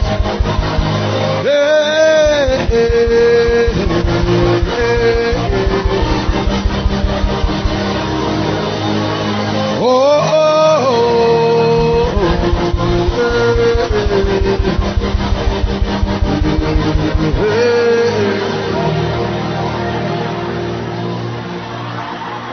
Hallelujah.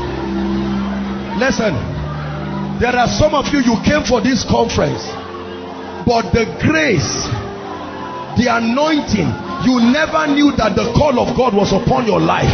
God has been following you for years, quietly. Some of you through university, God has been following you.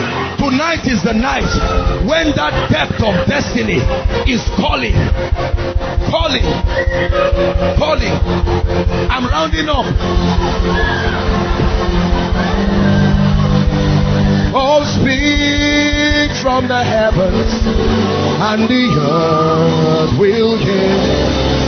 Oh, sing from the heavens, and I'll hear from the earth. Oh, sing from your heavens, and I'll hear from the earth. My altar is calling you, oh God. My sacrifice is calling you, oh God. My altar calling you, oh God. Take my praise,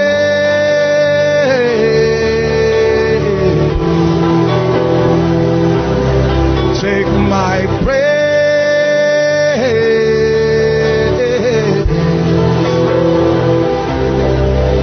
Oh, speak from your heavens, and now hear from the earth.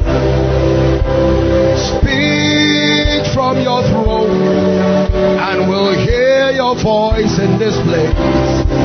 For my altar is calling you, oh God. My altar is calling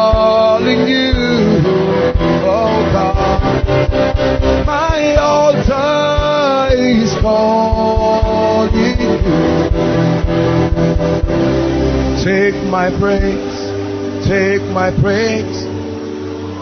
Now, for all of you who are in front, In the name of Jesus, I stretch my hands at the count of three. The grace that keeps you in this encounter, receive it now. One, two, three. Take that grace. Take that grace. I supply. Help them. Help them. Help them, please, so they don't injure themselves. That grace on your life. That grace.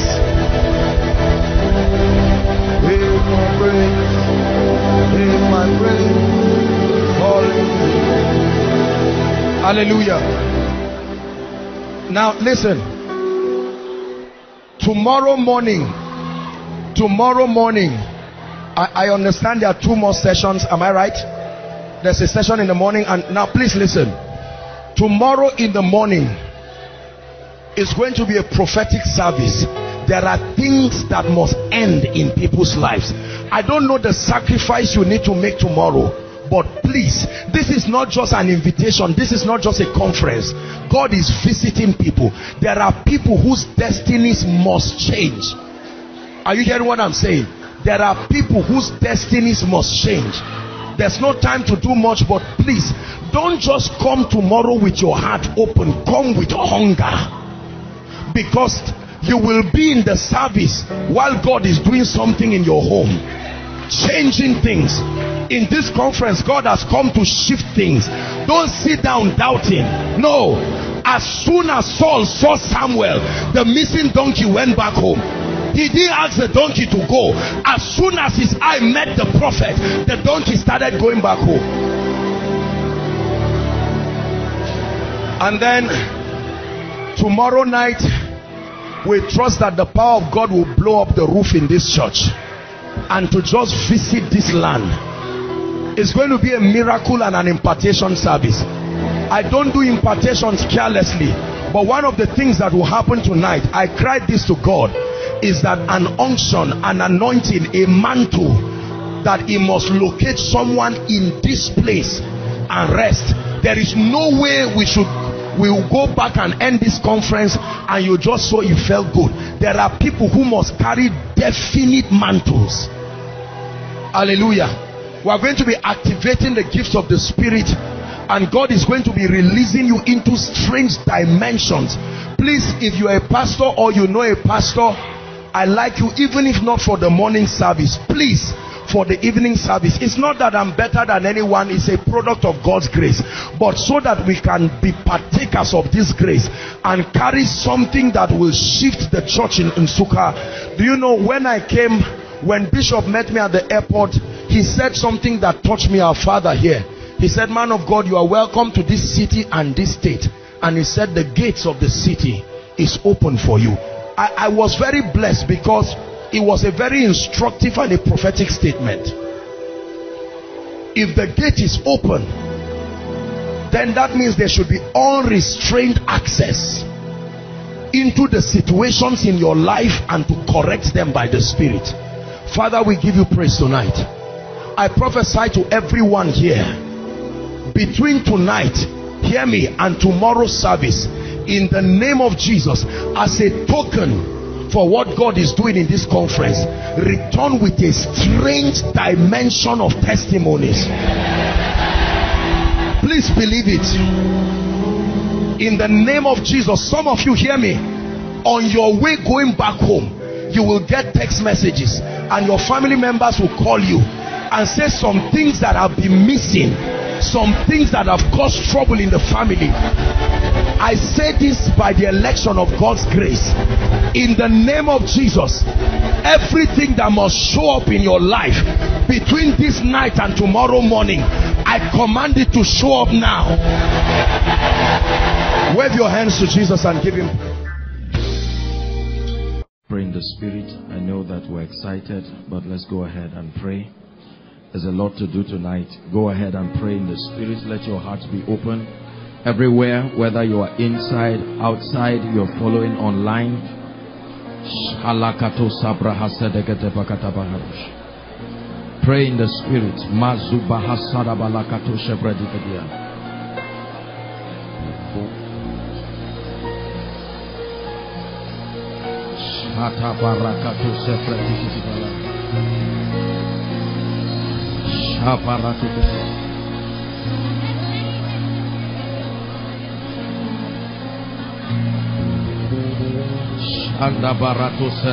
Balakatabus.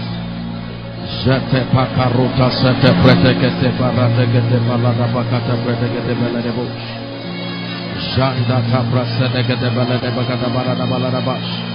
Please pray, don't be distracted.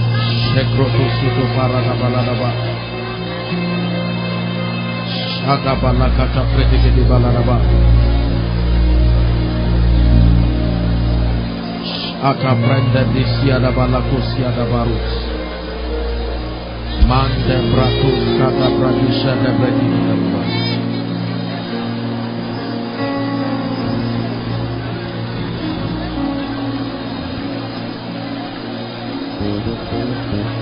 Pray in the spirit, don't be tired.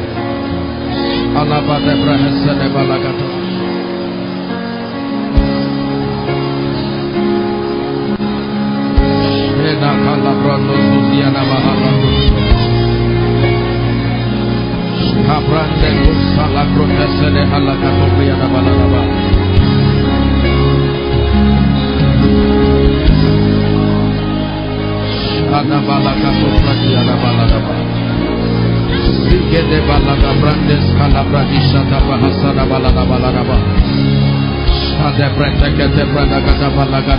De balada. Jabrante gede baratus sono protoko sono bradaga na balana ba. Lekete brede gede barana balana ba sana priana balana ba. Shanda da kate baratus sono bradiga di balana ba. Sekete barando sata barakatu sana brede gede belege. Ente kretu sana balaga na bradiga sana balaga na priana balana ba. Zekete parata kata pradiga da balaga da pradiga da balaraba. Shale kreduga de pradiga de balada balada baka tu pradiga de balada ba. Please make sure you are praying. Shala katu pradiga de balada ba.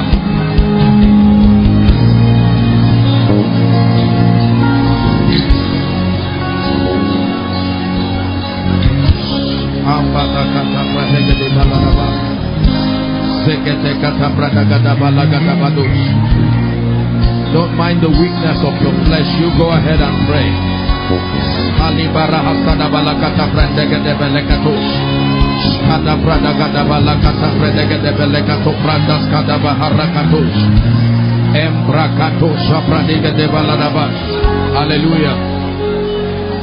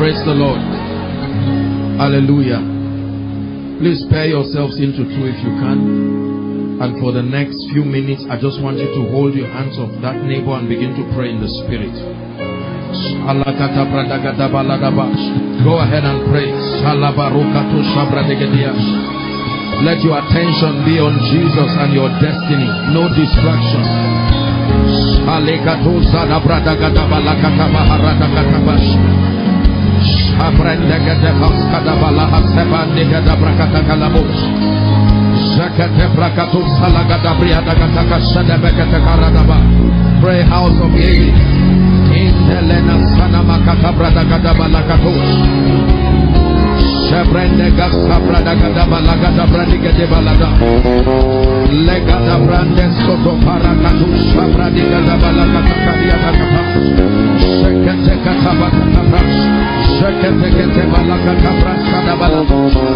Mande kata brade sekete lekata briada balada bakatos.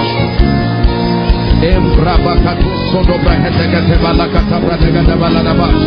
Manda paka brada kata brada kata brada kata kata balakatos. Entelekete brash kata barakata barikatu shabrede gede. Rakata baranda kata brede keshele kata baradas. Praise, praise. Salakata brande gede lakata. Zekete breketo la sada brada kata. Embrace soto parado seketo shabaruta. Mande kalakato shekreto sadabalakata. Ente kreto sadi bradakata. Jede kadu zabriada balakata brakato shadiakata. Shana mashada balakata bris. Eteke teke teke teke teke teke te. Rakato parabato soto pradakata. Sarakato zabredege dege de balakatos. Manta parato soto predegete barakata liakata. Shimakatos paratos keba shiba hasiatakan. Imbreke teke teke teke te prakatos ekete balakatos shekelia nabakata. Shemakatos sobon shabaratos. Sheketeketeketekete. Rakata barakato pretekete bokoto soto prekete. Inte zona katabria sanamash. Mande kato sabradika paroto sopreketekete.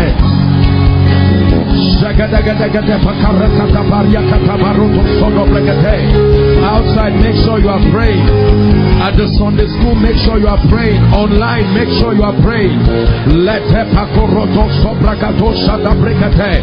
Zamakoto shona makarakato sabrigade baladabas. Lekate brande sana baladabas yadabala. Rakata bradagate kalema kuruto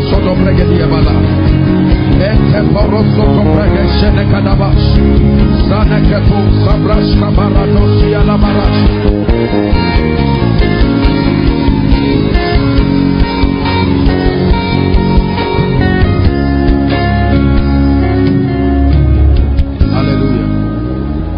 Hallelujah. Father, I insist that I must have an encounter tonight. Lift your voice and pray. Lift your voice and pray. I insist. I insist. I must have an encounter tonight. Halabato sabarakato shada. And asana malakato pratekete bahasedadash. Lord, that anointing for my ministry, that unction for my destiny, sanakato shabriatash. Something must fall upon me tonight that will cause my generation to hear your voice through my lips.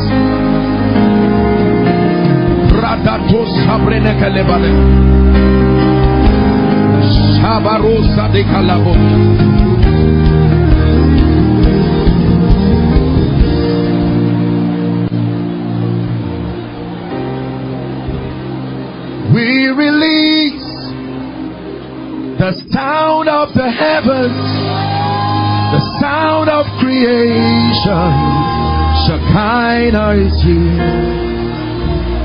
I release the sound of the heavens, the sound of creation. Shekinah is here. I'm prophesying to the atmosphere. I release the sound of the heavens, the sound of creation. Shekinah is here. I cry, Holy, holy, holy, unto Yeshua. Shekinah is here. I sing, Holy, holy, holy, unto Yeshua. Shekinah is here. I release the sound of the heavens, the sound of creation. Shekinah is.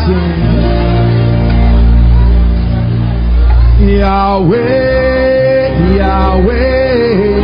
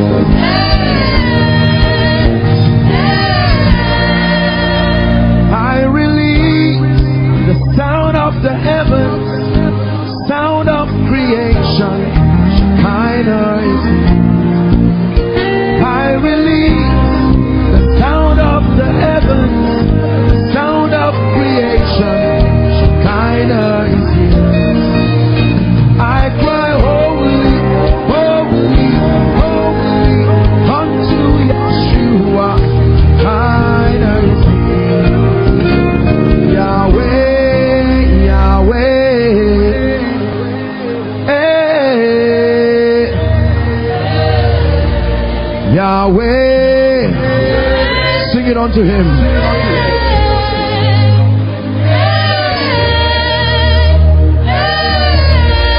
Yahweh.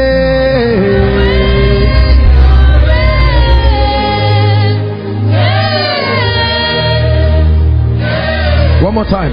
Yahweh.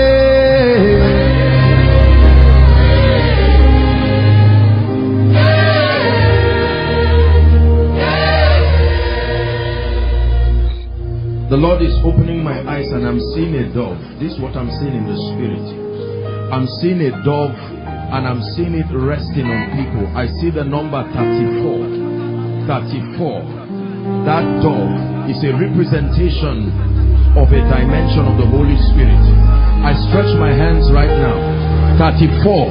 That anointing is finding you now. 34 people inside this place and outside. Right now, please help them. I stretch my hands right now. The Spirit of the Living God. You don't have to bring them out. Just, just, even if you have to bring them out, don't bring them out. The minister stand here. You can just keep them somewhere there.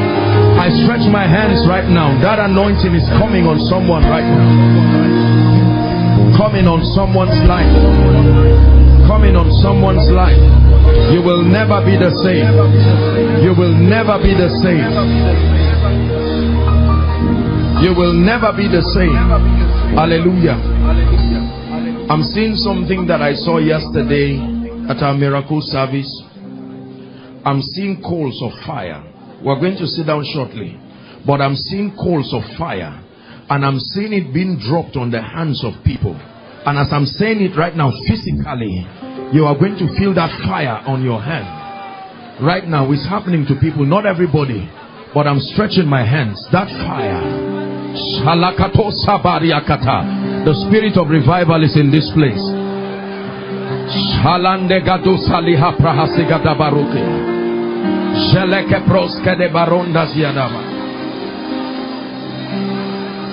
Shalatu Sabragadeshia Nahaparasu. Hmm. Yahweh, Yahweh, hey, hey.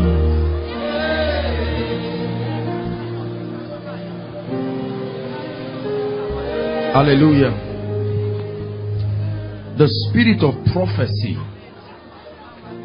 we're going to sit down shortly. Just let me do what I'm doing. The spirit of prophecy. In fact, I'm even seeing people outside, not even those in the auditorium.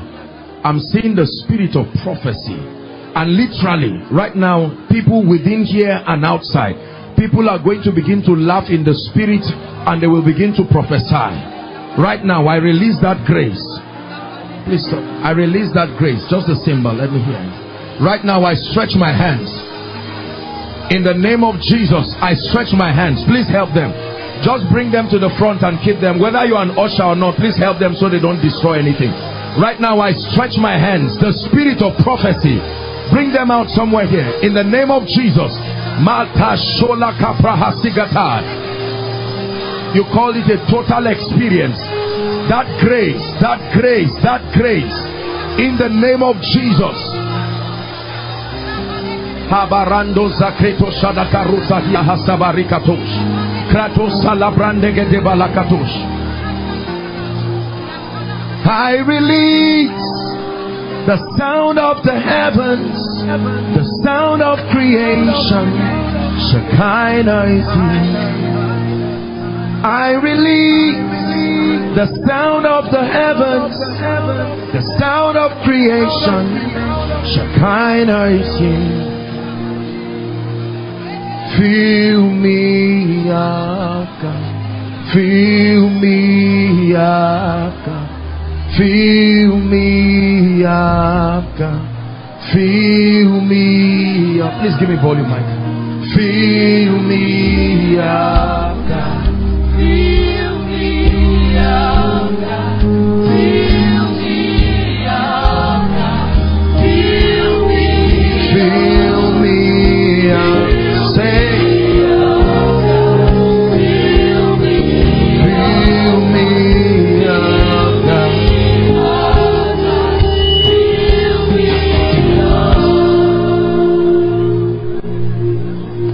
of the living God, we're here for a total experience. You have put it upon the heart of your servant, the angel of this house, to shift your people into seasons in the spirit and to shift this church, to shift this city. Mande kapasuza hazia katabragadosia lakatos kabria. Shandelatusia habanda subrakatash. Lord, the anointing for this meeting, the grace for this meeting, in the name that is above all names. As I teach your word tonight, let there be a supernatural activity of angels. Call men, O God, into deep dimensions in the spirit. Let there be an initiation into dimensions and levels of spiritual understanding, of power, of grace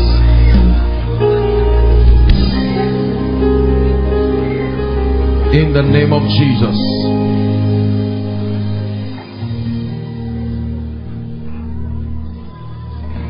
Let's just be silent for a minute if you can, except just for those under the anointing. Hmm. The Spirit of the living God is shifting us. Shifting us. Shifting us. I'm seeing a shift in the Spirit. It's like a wind that is blowing. A shift. It's an experience you will never forget. Whether you are online, at the Sunday school, outside, let that shift happen. We're spiritual people. We allow that shift to happen. That shift is happening right now in the spirit. I shall pour out my spirit upon all flesh.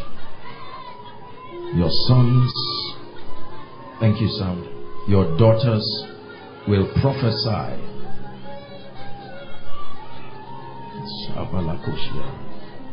Just a few minutes and we'll be seated. This is why we're here.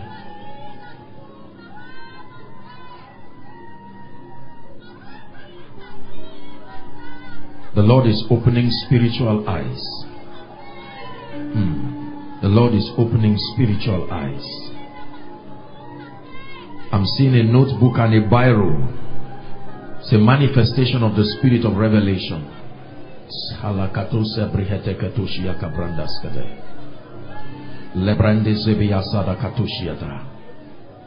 Never will you see things just from a physical standpoint. You will begin to see the spirit behind operations.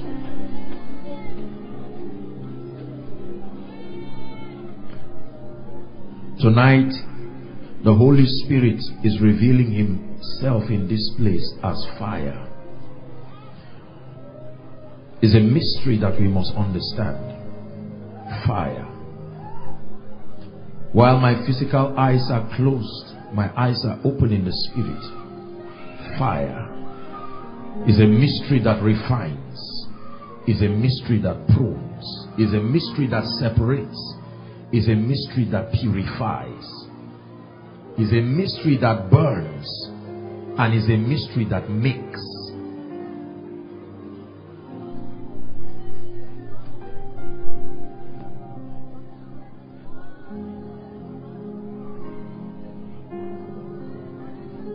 Blow, blow, blow like a mighty wind, spirit of victory, cover us with your wings. Blow, blow, blow like a mighty wind, spirit of victory, cover us with your wings. Please blow, blow, blow like a mighty wind. Spirit of victory, cover us with your wings.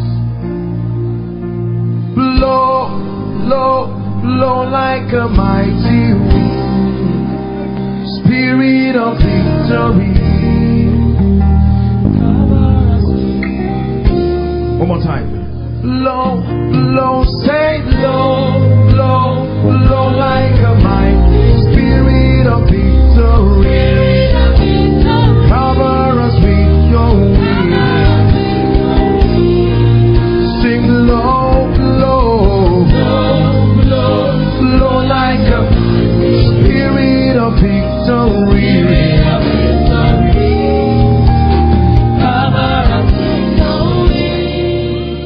our hearts, O God, in the name of Jesus. Let your word prevail. Let there be a breaking tonight. Let there be a pruning tonight. Let there be a refining tonight. Let there be a lifting tonight. Let there be healings tonight. Let there be deliverance tonight. Let there be prophecies tonight. Let there be impartations tonight. Let there be turnarounds tonight. Let there be decisions tonight. Let there be restorations tonight. In the name of Jesus. Please be seated and be sensitive while you do so. Pastor Shola, thank you so much. It's my pleasure. May the Lord bless you, household of David. I love you with all my heart. My spirit is fired up. It's my joy to be here. I appreciate all of us who are here. Um, I want to commend your pastor for the sacrifice of engaging the church to pray and seek the face of God. Um, let me tell you something, brothers and sisters. You see, one of the secrets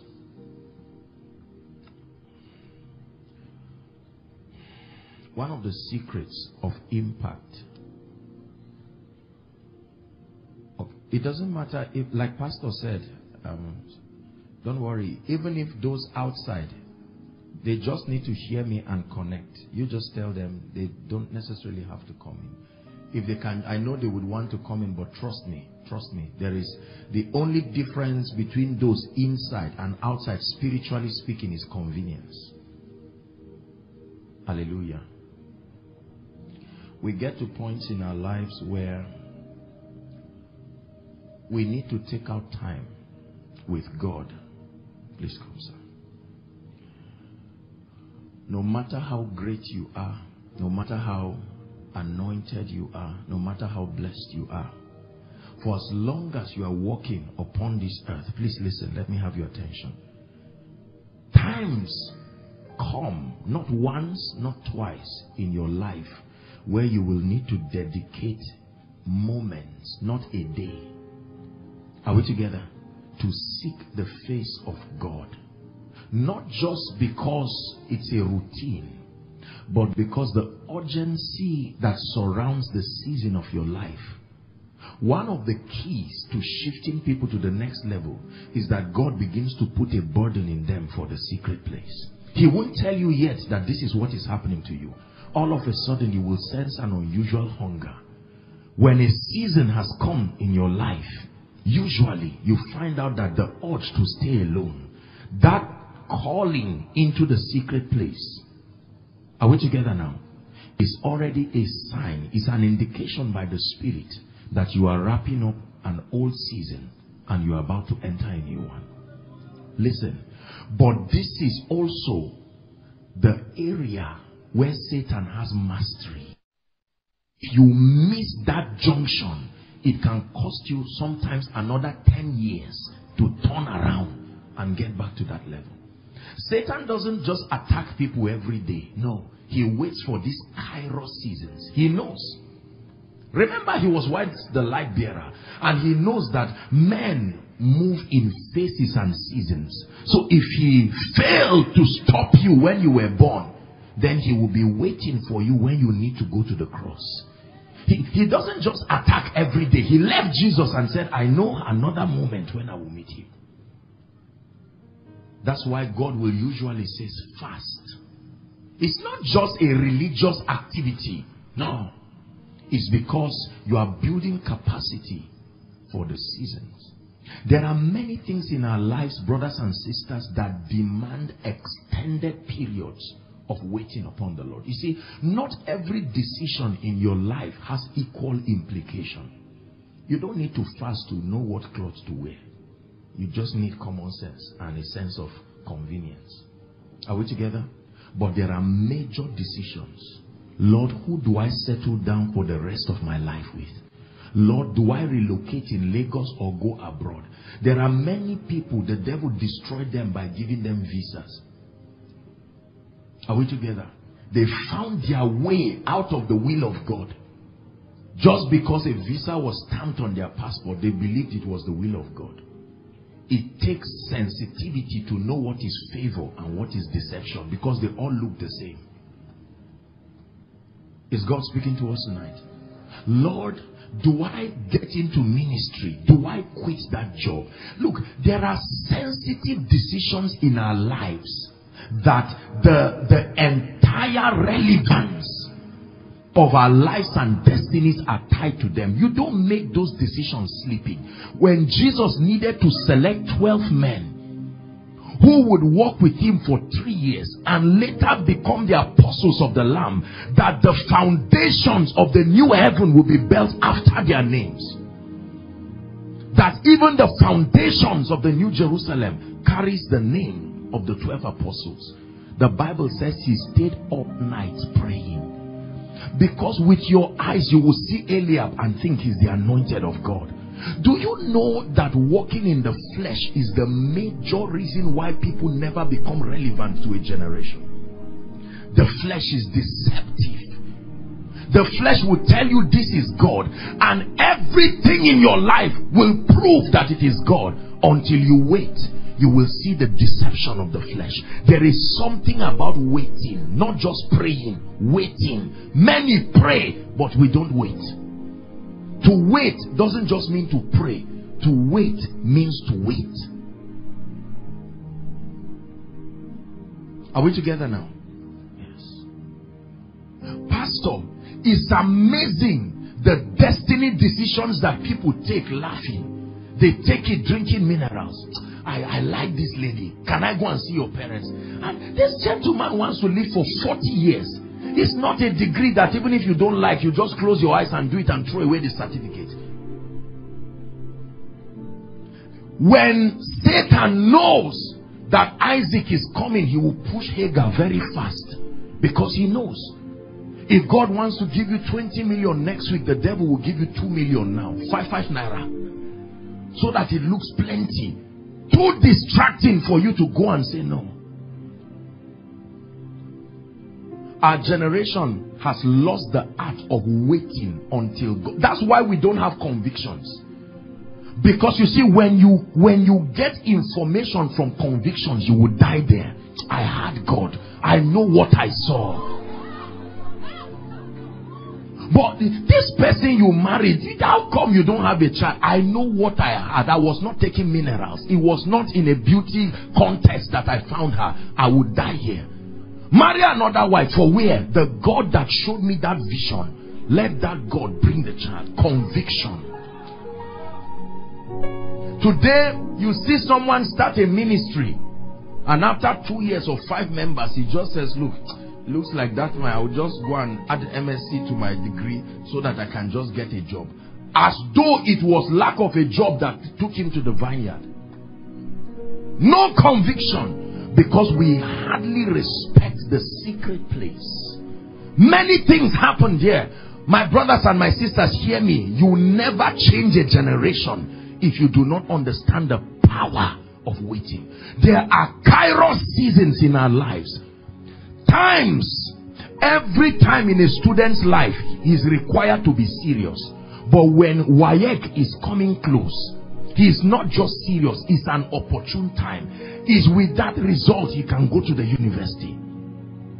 So it's true that you should read every day. But during WAEC, you see students with all kinds of skills. Coffee, um, cold water.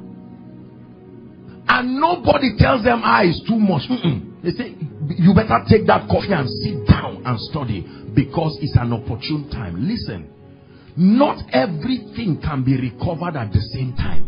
Listen, listen. Some recoveries, even if they come, the challenges they have created is something you may have to live with forever.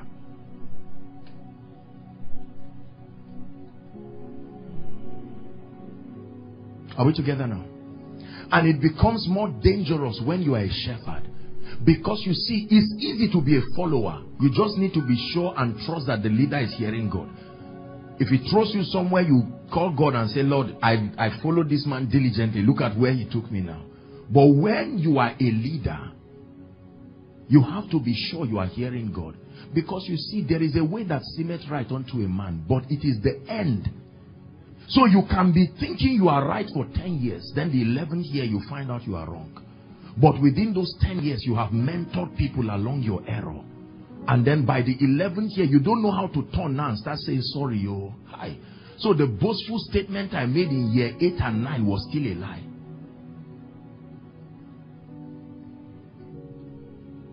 Are we together now? The Bible says, even the young men, listen carefully, even the young men will be weary. The youth will utterly fall. Very critical decisions. And we go on the internet. What to do, ministry or business. Enter. And we smile. And then we sit down and wonder why God cannot trust us with the grace for a generation. Listen, it's one thing to have the anointing upon you as a believer it's another thing to have the anointing upon you according to the office that God has called you in. But it's another thing to have the anointing for God's emphasis in a generation. Listen, these are three levels of the anointing. You can have the anointing as a believer. You can have the anointing with your office. But for every move of God, God finds men who have aligned enough and there is a grace that's why I can be anointed, but a season will come. You know I'm not in God's program in that season. I'm anointed. But for whatever reason, you know that in this season, this man did not align himself to be featured in God's program. Is God speaking to us? So when you see God corporately calling a church to pray and fast, my brothers and my sisters, it's not a time to mourn. Forget about what happens to your outward man. You see, we, we are a very carnal generation, and, and it's not an insult, it's a description. Is the reason why inconvenience touches us too much. Just because you are losing weight, just because of a little inconvenience, just because there is no AC, just because while you are worshiping your trousers tears, you know, all this, we, we are so embarrassed, we carry our entire ego and put it upon it. When a student is going to write exam, if you are rushing to go and write your final paper and your wig removes and the door is about to be shut, please talk to me intelligent people. Do you do you just turn and say, ah, the gentlemen are going to laugh at me? There is a desperation requirement that you must have for the gates of destiny to be open there is a, a requisite level of desperation over God. Desperation that is greater than the comfort of your body. Desperation that is greater than the comfort of your belly. Desperation that is greater than your reputation. Desperation that is greater than name. Hmm. Are we together? So when you set yourself to seek his face, the devil will bring all kinds of nuisances around your life. Oh, a new movie just came out. A new this and that. God says, no. Remember, you are in a season. That person is not in their season. So they can afford to be careless and play around. But you are in a season. While we're, you know, in the plane coming, I was so tired. I, I barely slept this morning. And then we had to head for the airport. And then I just laid down and the Holy Ghost spoke to me. He said, son, you are entering your season of glory. It's not my word. You can receive it, but I'm telling you what God told me. You see, the moment God said that, what do you think a wise Christian should do? Just jump, hallelujah. No. That you war a good warfare. Because when that announcement comes, the devil hears it too. You are not the only one who had it. And Satan will say, all right, you are entering your season of glory. What can we use to abort the season can be aborted. Yes, sir. The Lord was in this place and I knew not. That means my time of visitation should have come, but something happened. There was a lot of carelessness in my spirit. That's why you find certain people, they can do well in a particular season, even in ministry. Then they get to a level, they never move again. They miss the season. I tell you, that's what happened. Because you see, sometimes the comfort of success can blind you from knowing when seasons come. You can, I mean, it, it's, it's easy to fast when, when you don't have enough to eat. You, you have a justification that is already tilted towards fasting. So you can as well just fast. But what happens when you are comfortable? It's harder to seek God when you have results than when you don't. So I assume that all the people inside here and outside are people who are truly passionately seeking God. There are meetings where you must love God to come. If you really came for that meeting, then you love God. Are we together? It takes hunger. It takes hunger. My brothers and my sisters, this glory, this power, this grace that we see, God is not a magician. It doesn't just fall on people. Don't mind people who just make it look like you just go and fetch it anywhere. No, sir. Not everything in the kingdom is a gift. I've told you this. There are things that are rewards. There is no shortcut to it. No matter how healthy a woman is, is nine months straight.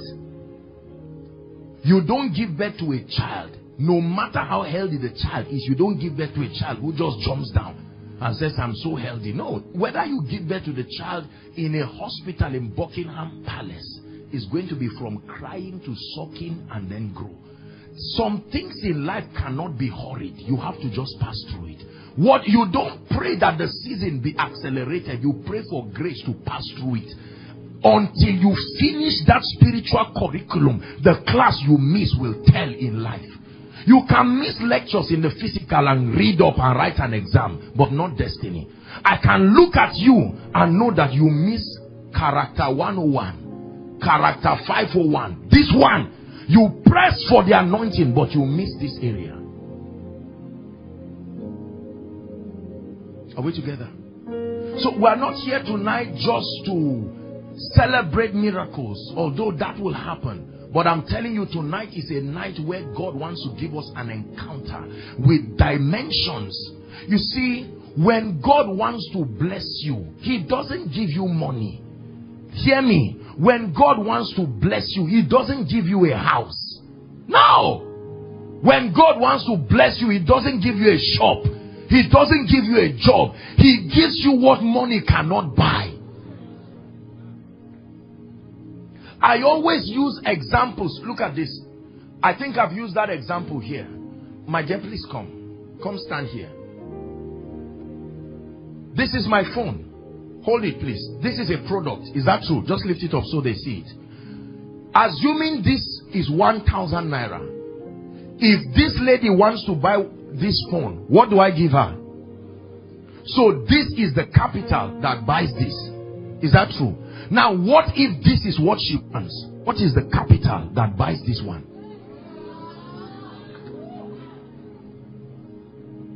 If it's true that this is what buys this, then what is it that buys this? The name of the capital that buys this is called true riches. That's what God gives men. Doesn't give men money. This, this is man-made. Unfortunately, this is what people labor for. Listen carefully is the reason why people are about to die of heart attack now. Is the reason why people leave God. God is saying, come let me give you something that will make both the rich and poor need you. And they say, oh God, no, no, just connect me to one uncle somewhere. And God is saying, what are you saying? When you go to your uncle, you have to sit at his terms. But when he calls because something you have, you see, if I told you that as you are sitting down now, you are becoming wealthy, you won't believe it. Because what you are thinking about is If I say, let's share one 1,000, you say, ah, what kind of a church is this? I'm coming back next week. But you don't know that God blesses men by giving them true riches. You are the mighty God. You are the glorious.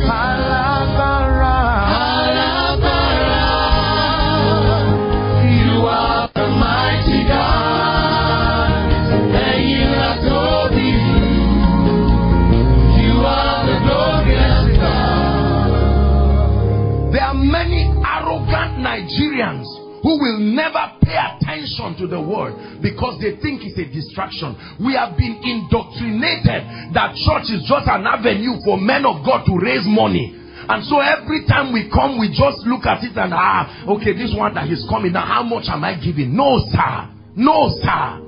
God draws people. He calls the assembly to lift your life, to give you that money cannot buy. If all you have can be bought with money, you don't have much.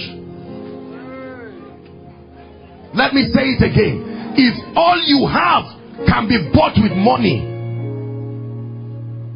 then you don't have much.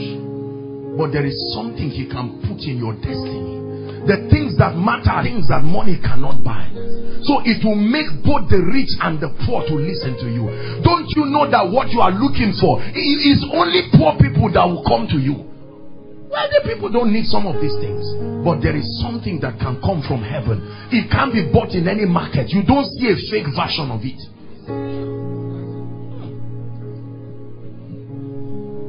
That God can put something in your life and you can run back home and say, Mama, I've found a key. She said, You mean you got a job? He said, No. If it was a job, I wouldn't dance this much.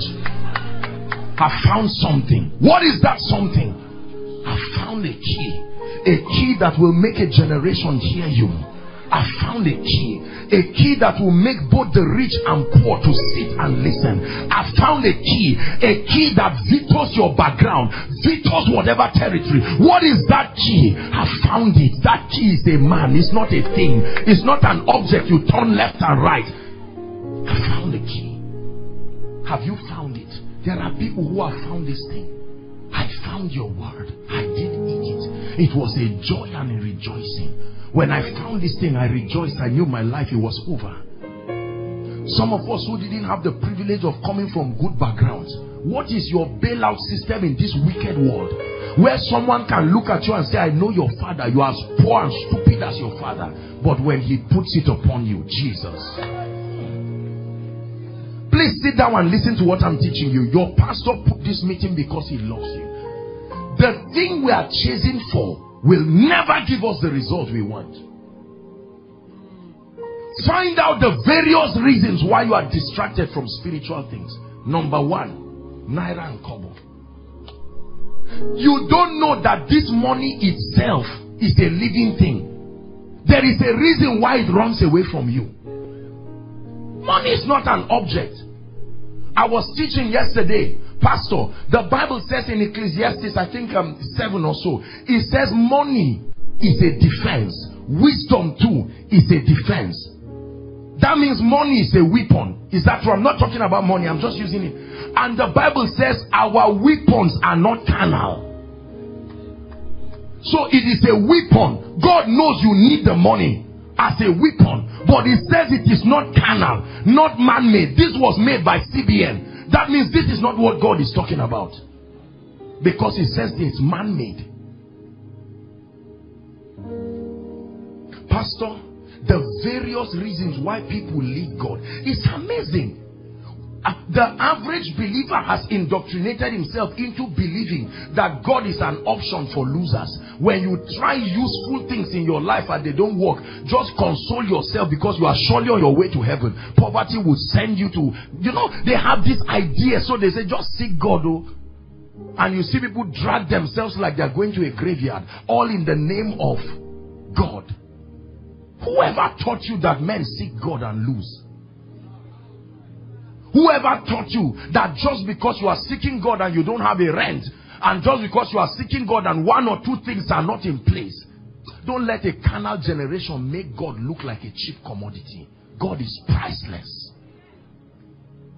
Find out those who sought him and how they changed their generation. You are looking for a job, God wants to make you a voice.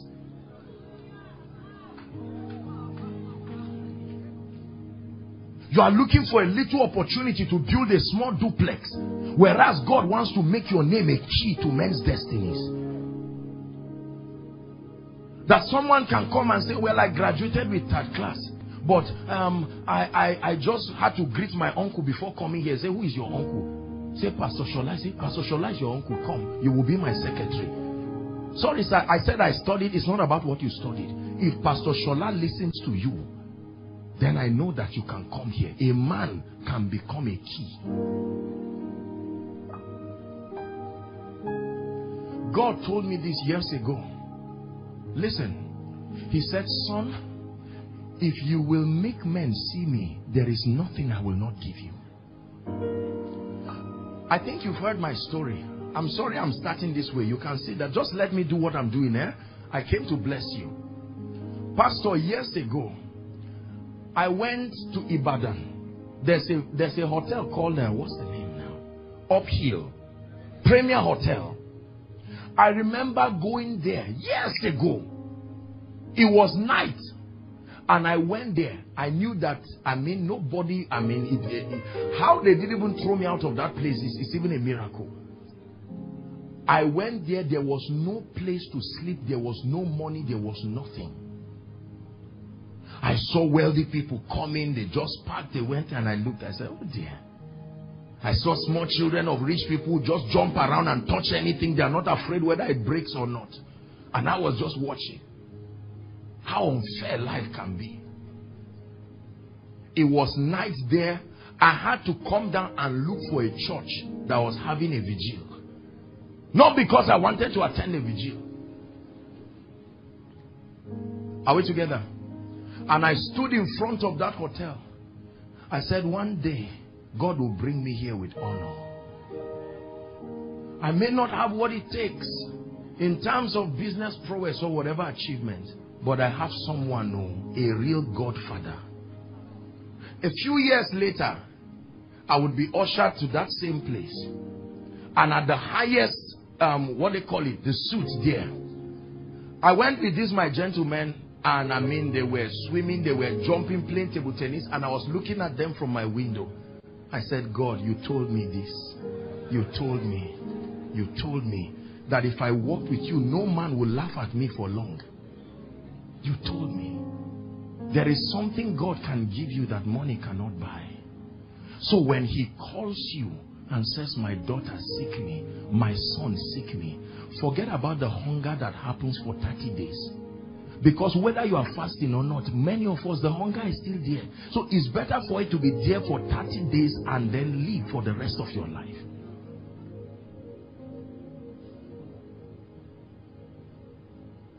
Are we together? Many of us have come from backgrounds where, honestly speaking, except something supernatural happens, there is no possibility of rising to any dimension. And God calls you. He calls you, and men interpret his calling as an inconvenience. Lord, why are you distracting me?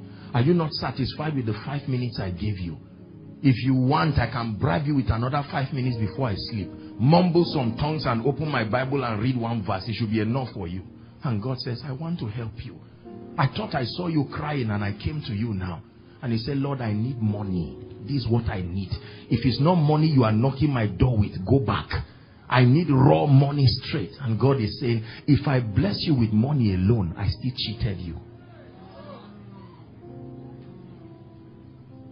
But someone can kneel down and say, Lord, I may not have much now. I'm not ashamed. I'm not embarrassed. I may not come from a great family like Gideon. But Lord, I heard that when you find men, you make wonders out of them. I'm available. I may not be much. I may not have all the parameters that men use to measure success. And God says, just trust me. Ah, oh God, you are my God. And I will ever praise you. Oh God, you are my God, and I will ever love you. Oh God, you are my God, and I will ever trust you. I will seek you in the morning and I have learned to walk in your ways. For step by step you lead me, and I will follow you all of my days. One more time, step by step. For step by step you lead me, and I will follow you all of my days.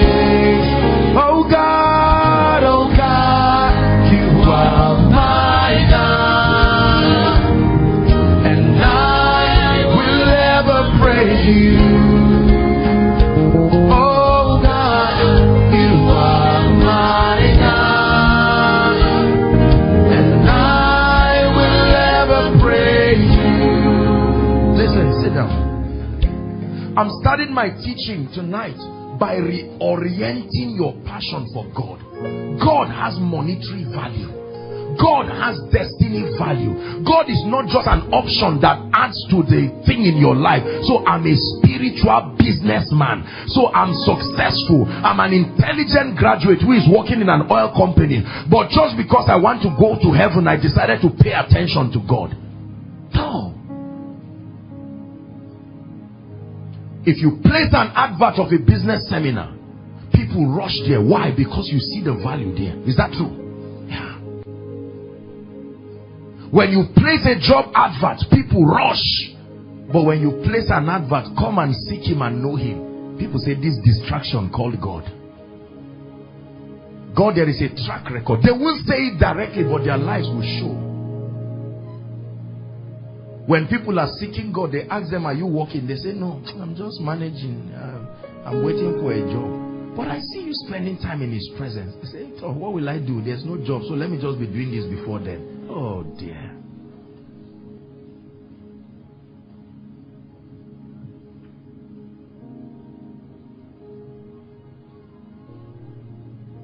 I have learned that this, my God, when God holds your hand and decides to lift you, Pastor Shola, it will amaze you. You will stand in awe and join those clapping for you to wonder and say, God, who are you? Could it be that I don't know you? Is this how you lift men? Is this how you can turn a man's life around? Do we not know that Saul, when did Saul become a prophet? And God says, when you add me to the equation of a man's life, I've said it, one plus one plus God is equal to any answer he wants. One plus one is two, but one plus one plus God can be one million. Listen to me. Let me challenge you here. If in case you just came for this meeting just because you felt your friend just pressured you to come and you're saying, okay, let's while away time. It's a Saturday. I want you to change your mind. See it as someone calling you to say, I want to change your life. Pastor, you know, we say this all the time. One encounter in God's presence will change people's life. They just say amen, but truly they don't believe. When you hold my hands, everything becomes possible. When you hold my hands, impossible becomes possible. Say, when you hold my hand, everything, everything becomes possible.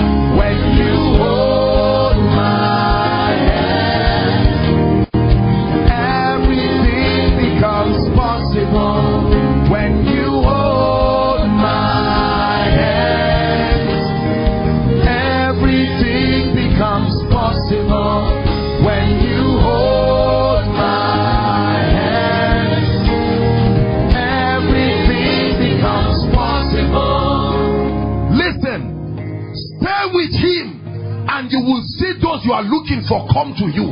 The Bible says the Gentiles will come to your light. Forget about those laughing at you. My brother, stay with him with your torn trouser and your 200 naira shoe. There's no need of faking it. Why fake what can be real? Stay with him and watch the wonder he will make out of your life. That a day will come, you will sit down and say, God, what have you turned my life to? What have you turned my life to?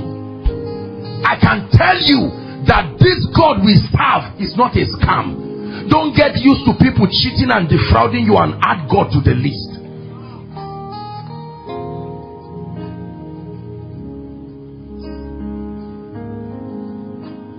This man standing before you is a testimony that when God holds your hand, a generation must hear you. It has nothing to do with sentiments. Are we together now? Yes. Sacrifice. Let me tell you a, a, a very humorous uh, something that, that happened. Um, I went somewhere to preach, and um, you'll notice there's a lot of scarring in my face. I went somewhere to preach, and you know, was a big sacrifice there. And um, I mean, after the whole thing, I don't know whether it was the water or something, and I mean, this thing just messed up my face and all of that. And I turned, I said, Lord, all this sacrifice I'm doing, this is for the gospel. My face is paying the price and everything is paying the price.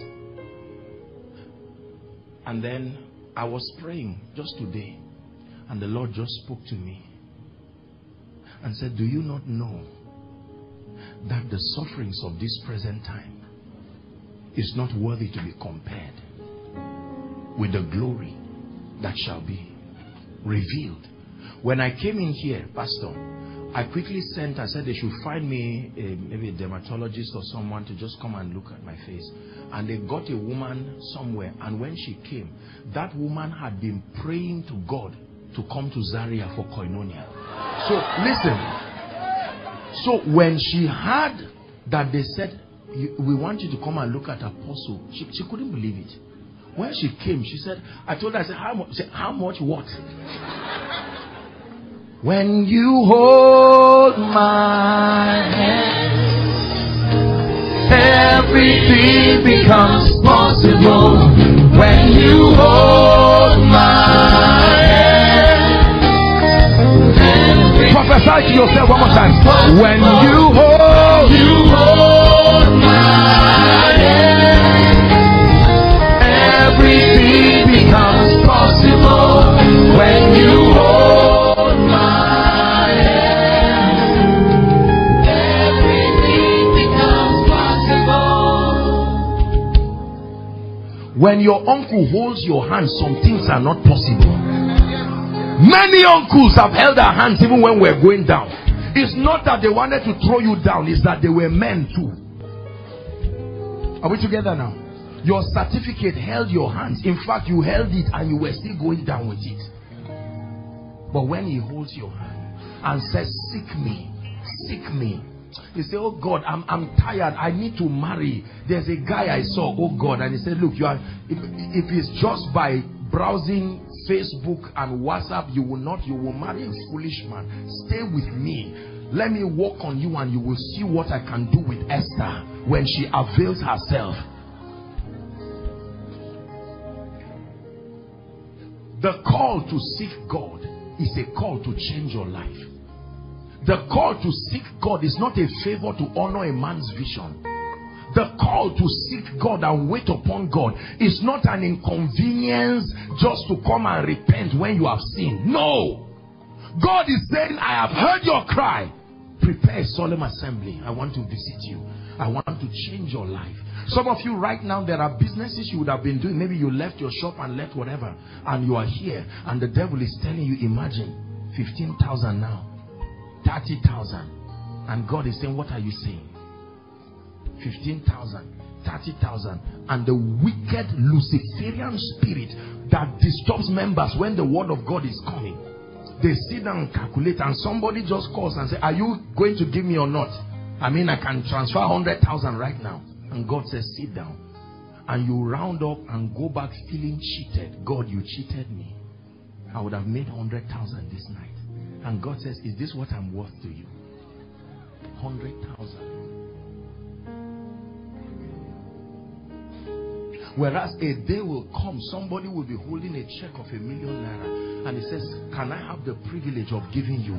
And you say, God is a lie. I'm joking. God says it's not a lie. That's what happens when men seek. When Jesus was born, a star rose. It was so bright, men could not deny it. And the Magi carried their gift and started following the star. It's always a star that leads you to a person. Brothers and sisters, listen. Listen to me. I don't know what background spiritually that we've had, but I call you tonight, even as we prepare to pray, return back to seeking God as, as a means of living, as a livelihood, because it truly is.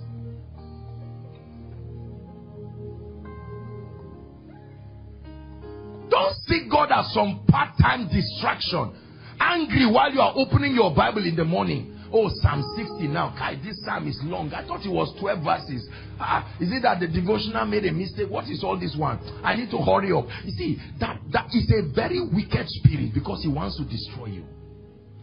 But you can go and sit down in a man's office after six hours. He said, You are still here. Be patient. Then he said, ah, You are just happy that he passed and was aware you are there.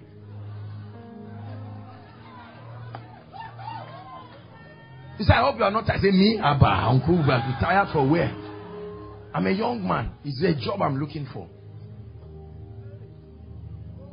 While you are laughing, I hope you are getting what I'm saying. I came here sincerely to challenge and shake you up and down. There are many men of God, Pastor, carrying cards all around. I'm a man of God. I promise you, if you invite me, even you, you will know that God is at work in my life. My brother, with all due respect, the fact that you are groaning around seeking people, seeking opportunities, the Bible says, neither do men light a lamp. That's the secret. It's not the lamp, it's the light on it. The spirit of man is the candle of the Lord, but it does no good if it's just like that. But there is a fire that must come. When that fire comes, even if you put it under a bushel, it will burn it and make sure everybody knows there's fire there. There are many music artists carrying their albums, running around begging and saying, Pastor, I hear there's a program. I'm anointed. The other day I thought you heard my song. Didn't you like what you heard? See, that those is a wrong approach. It's an analog and wicked approach that leads to bitterness and envy. The greatest way to publicize yourself is to remain in the secret place.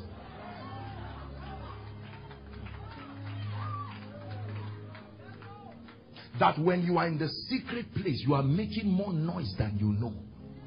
You come out of that secret place. And as a man of God, you go for just one meeting. And God will make it such that all your destiny helpers are seated in front of you. And while they are hearing you, this one is saying, We've gotten the last speaker for our conference. This one is saying, We've gotten the next. Ah. And you turn back and say, God, this is how you change people. Whereas there's somebody begging around, they say, Okay, 10 minutes, or oh, you hurry up and you come up the pressure because you are not anointed, you will talk nonsense and the people will not be blessed. The other pastor say, I told you, let this be the last time this man ever comes to our program.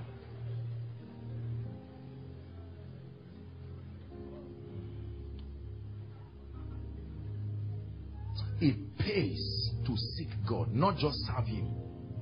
It pays to seek God. We seek His hands, we seek His miracles. We seek anointing, which is not bad. But my brothers and my sisters, none of this is the face of God. You must be passionate. Passionate. Seeking God will cost you a lot. Let me be very honest in the name of honesty. Let me open you up to the truth. Seeking God will cost you a lot. The Christianity of convenience while you are seeking God is a joke. The convenience comes as a reward when you have found that which He gives you in the secret place. And sometimes we have to be honest. You see, as men of God, sometimes we make the mistake of pitying people who are starting out with God and we make them to compare their lives with our current results and rush them out of their seasons of training. Are we together now? The brother is fasting and trusting God for his finances and studying. And sometimes you just look and say, this guy, this night vigil for 30,000, I'm ah, mistake. No. Let him encounter Jehovah Jireh. Something is happening. Are we together now? Your pastor today can give out a million naira and by evening it has returned because there is a track record. Something has been built in the spirit to produce that result. So no matter how they love you, you have to start. You have to create your own track record. Not everything in this kingdom is impartable. There are track records that you must create by yourself. Hear me, brothers and sisters. Seeking God will cost you your time. It will cost you your time. Anything you love, you have time for. Your job, your children, your wife, your husband, your business, you have time for it. Whether rain is falling or not, you know this is Monday, I should be at my shop. You defy that rain.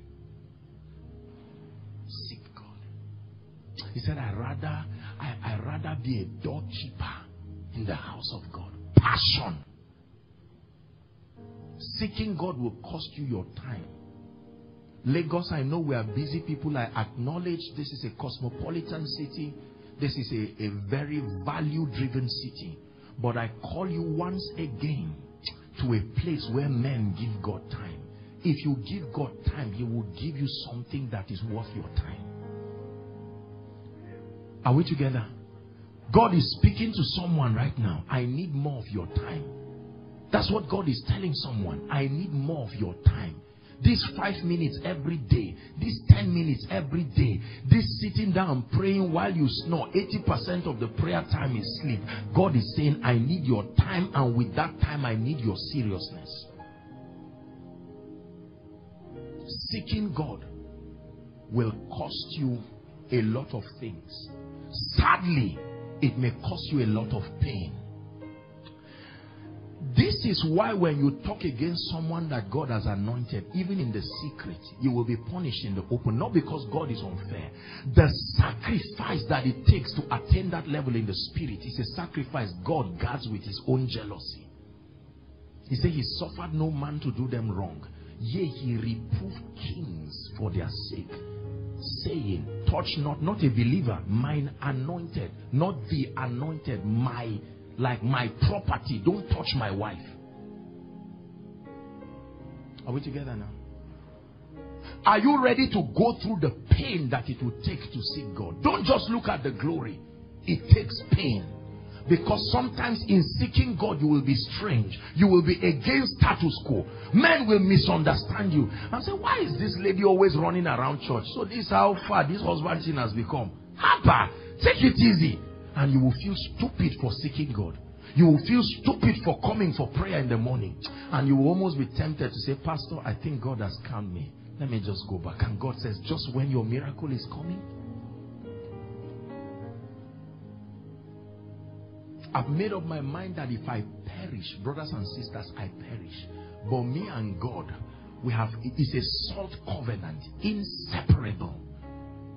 It's not because of what he's doing today. I love him desperately and truly. There's no amount of pain that I will not go. Pain means nothing to me when it comes to the love. My love for God. We're a very pain averse generation. And pain is something that you don't intentionally go and embrace. However, every successful person knows there is a pain factor. I, I wish that I were lying. I would have just apologized to you and say, okay, I'm joking. But I'm very serious. The birth of anything valuable is painful. That includes your destiny. Ask every mother here, they will tell you. No matter what kind of prayer warrior you are, no matter how supernatural the birth is, the memory of some level of travail. So whoever told you that your destiny will just come as a platter of gold. My brother, my sister, it will take a price. It's costly. the bigger the destiny, the bigger you will need to push. It is as soon as Zion travails that she will push forth. There may be a man or woman of God sitting here and outside hearing me. You have seen visions of the great ministry that God is calling you into.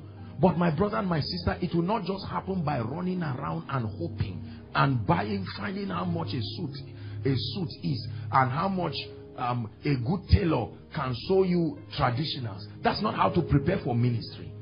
You prepare for ministry that way you won't last one year. I, I guarantee you. Is to stay in the secret place. Are we together now?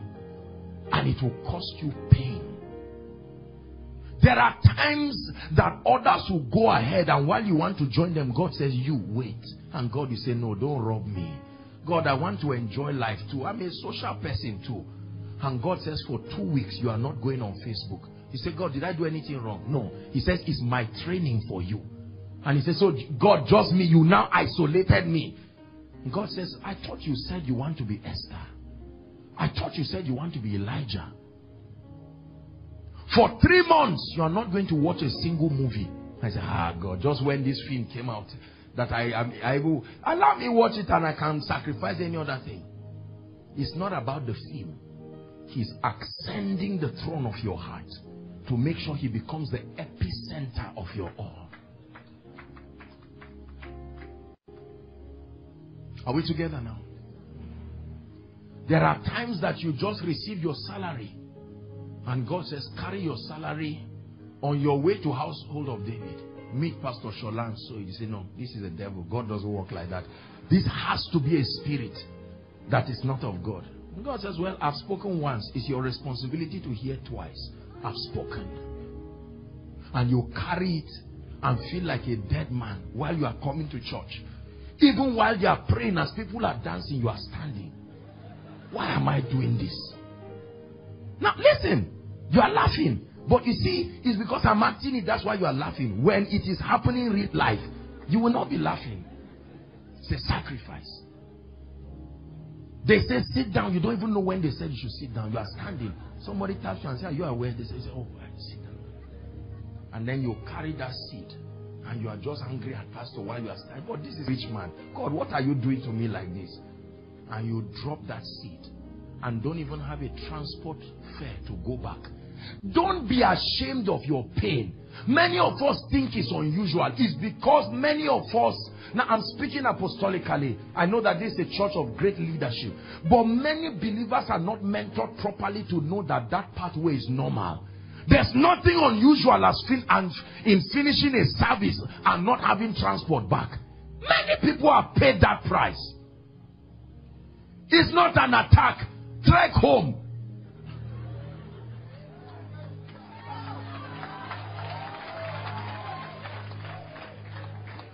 You are creating a track record. Listen, what looks like an injury today, tomorrow will become your symbol of honor. Don't be ashamed of your scars, that pain. Let no man trouble me, for I bear in my body the mark of Christ. So tomorrow when someone sees you and says, this woman, you just got a, a rich man and just married, you see, you are joking. Let me show you the scar. Look at it. The scar of the vigil the scar of the pain. Don't let the jeep fool you. I died. Do you have a track record in the spirit? Demons see it. Don't just stand up and say, In Jesus' name, go. You think they are fools? There is a scar, my brother. You don't just speak to a man and say, May your life change. Amen. And then his life changes. No. I'm being open and sincere with you tonight. There is a track record. The situation you are going through now, it looks like God is silent, whereas heaven is cheering you. Write your story, my sister. Write your story, my brother. Let it be that once upon a time I trusted God. I had garri no sugar. I still called on him. It looked like he didn't answer. And I said, Lord, whether you bless me or not, I love you. And heaven says you passed the test you passed the test. It was never about lack of sugar. It was about loving me with garri or not. That means if I give you a Jeep tomorrow, you can look at that Jeep and say, Jeep, I loved God before you came. And don't you ever think the sound and the luxury behind you will distract me. Many half-baked believers that are swayed here and there. One million naira comes and they drive God out and say, God, I need space. This one million is too big. Sorry, I have to evacuate you for a while. God says, I'm going. No problem.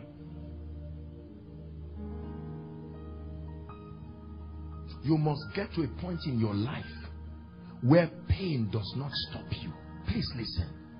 Some of you, as I'm speaking now, only God knows the pain. You are seated here looking at me. But there are things you are going through on account of your faith. And the devil is already lying to you. You would have married since five years if it did not matter to marry a spiritual man. But God already warned you. The first guy that just strolled around, you had a dream. God said, be careful. I've already told you that the child that is coming out of you is not a child, is a nation. So when you see all your friends getting married, you say, oh God, why are you cheating me like this? I would have had two children now. And you sit down and you cannot seek God. And God says, I will give you one child that is equal to a city.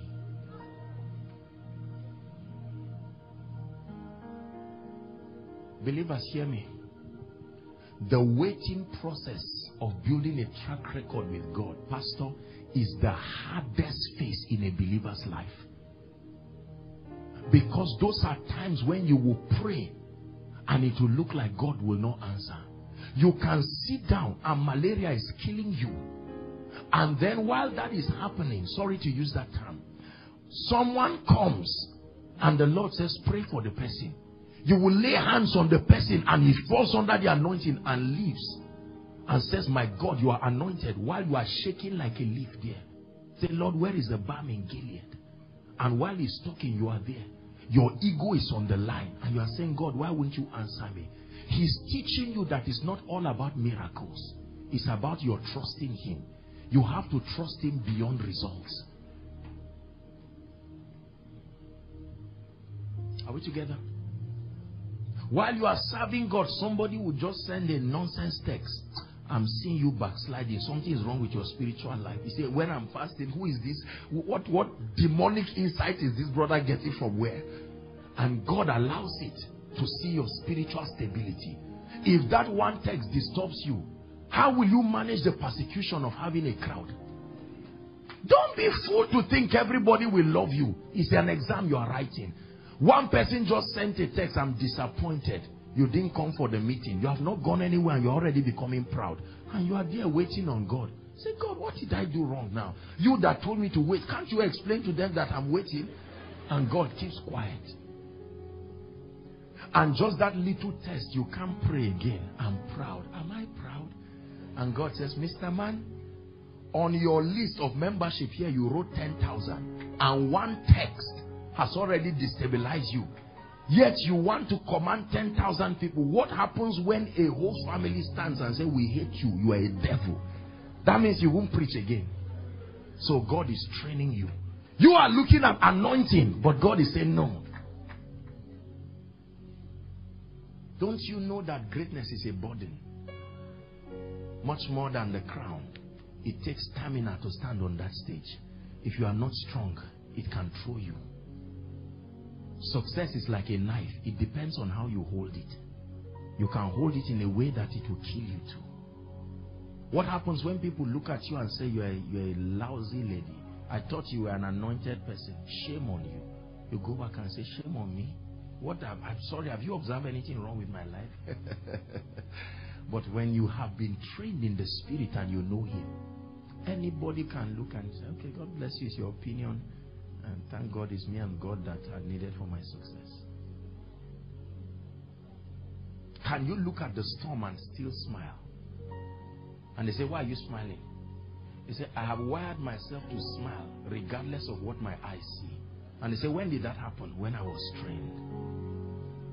When I was trained. Pastor, have you seen people collapse because they stole their car? They, they wake up in the morning and stand in front of the garage and say, no, no, it's a joke. Honey, where is this car? Say, ah, I thought we were in the same room. I say, no, no. If, if it's a joke, stop it. My hard-earned money, 15 million has disappeared like that. No, I won't let this happen. And the man is talking, and then you find out he's not coordinated again. The next thing he has fallen. Let me tell you. I don't, I'm, I'm not, I know that we're human beings, we react in different ways. But that thing is a proof that that car is seated in a throne somewhere. I'm not saying to be, to be irresponsible over whatever God gives you. But to fall down because of metals, that's quite a level of degradation there. I will search for you and I will find you and I will find you with all my heart. I will lift my hands to you in worship and I will worship with all my heart. Seeking his face will cost you a lot. You will be misunderstood.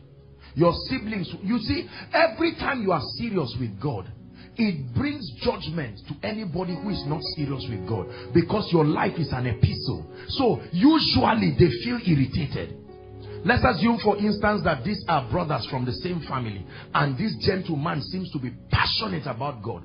One day, this guy will talk to him and say, oh, Please don't insult us just because you are praying the other day. You see, it's already a reaction. It will pain you, let me tell you, because people will look at you and say, Prayer warrior, you have eaten and left plate here, you didn't even wash it. They will take little things and magnify. It's not about the plate, it's about the annoyance. They just found a plate as the scapegoat for expression. As if you are not human again. You just see a beautiful lady. Ah, this is a beautiful prayer warrior. I can't believe this. You mean it? As if you will never marry again. You, you see that kind of thing. There is a price to pay. But can you pay that price and remain? What of the attacks that come? We have spoken about physical things. Let me tell you, every time the devil sees unusual passion, he comes to find out what is going on there. Because he knows that men have a level, a nominal level he won't attack you because he knows that an attack will force you to be serious with God. So he just measures and finds out that you are lower than the threshold level. He leaves you there. Just be dancing around the things of God. You are not serious. Today you pray. Next tomorrow you are not serious. He will leave you so that that complacency will keep you there. But the day he sees unusual prayer, fasting, praying, a night vigil, you are listening to a message. This one happens, you send a text to all certain friends and say, Sorry, I need time with God. The devil says, Mark this lady. What is going on in her life? This is a threat. And all of a sudden, the principalities and powers hear you while you pray. Lord, take all of me. I dedicate my life. And they hear it. And say, make, try to make this lady's life as miserable as possible. And all of a sudden, a guy you have been with for four years now says, I'm tired of this your church thing. My dear, I'm going to look for a correct wife, not a stupid girl like you. And you stand there and your humanity eats you up. And you're saying, Lord, but it's not fair. And God says, you just stay and watch what I make out of you.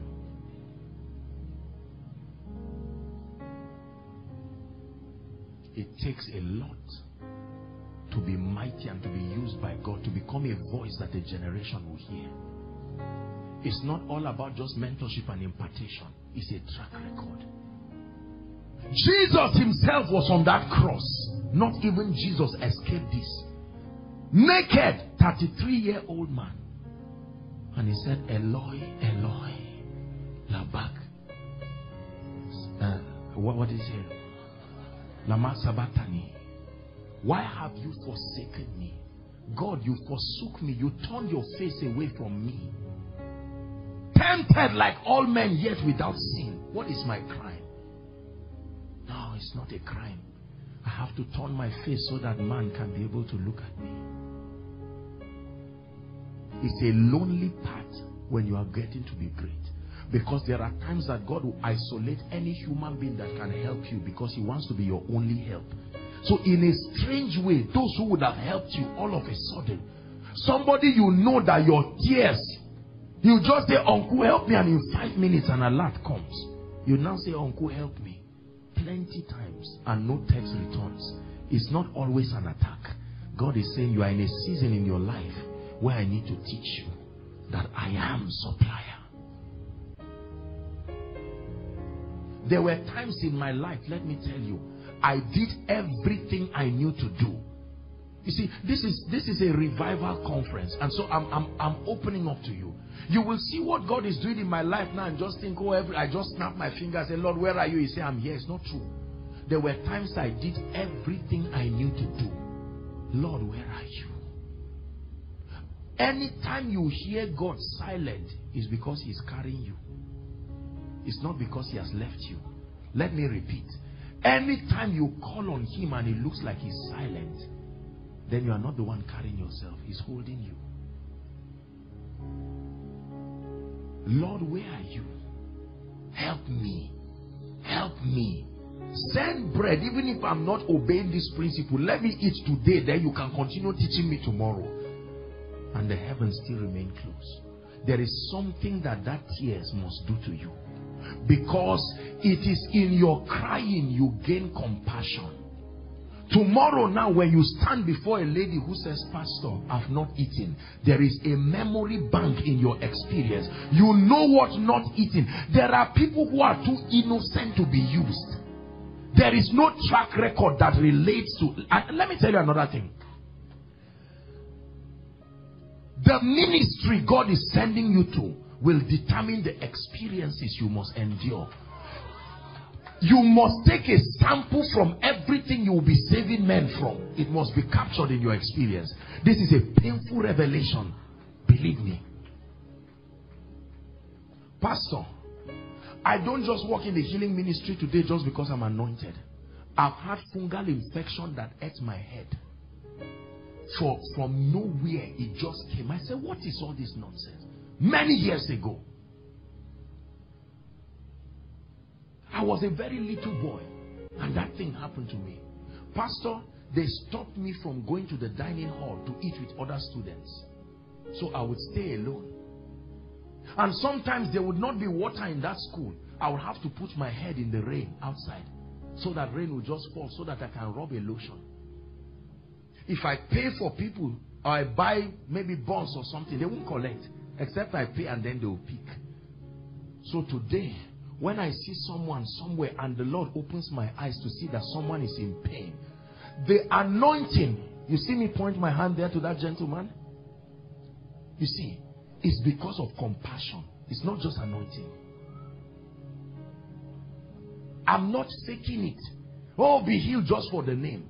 Because when God opens your eyes, you remember. When I stand and I see someone crying, there is something in my life to relate with. What do you have in your track record that can create? Compassion is not generic. To be kind-hearted doesn't mean it to be compassionate. There must be a history that can attach you to people's pain. Please, if you're a man of God here, hear me. Don't waste your pain. It's a track record. You will need it for the people God is sending you to. There are many people who want the anointing and don't have the time. Pastor, every time after our meeting, now eh, is a unique model for us. I counsel people. I went to, I went to bed yesterday. God is my witness. I think it was to three. I returned home past one because people come from all over within and outside this nation and the only time I have to see them is just that night. I have to see them. You must have compassion. When I go on stage by 6 or 6.30 or 7 and I stand there till 1, it's not enough to say I have anointing. Do you have the heart? Do you have an experience enough to see a woman who stands and she's talking to you and can't speak English well and say, Madam, so you are not even smart. Give me chance. I'm an educated person. It's compassion that will keep you to say, Madam, what can you speak? Yoruba, find somebody, interpret it. Don't try to struggle speaking English. I'm smart, but I'm not a fool. Speak what you can speak. I've been there. We do not have a high priest who cannot be touched with the feelings. Is the reason why many people are not anointed. They can't be touched. Sometimes this, this our sense of over civilization sometimes destroys us. It's wonderful, but be fair to people.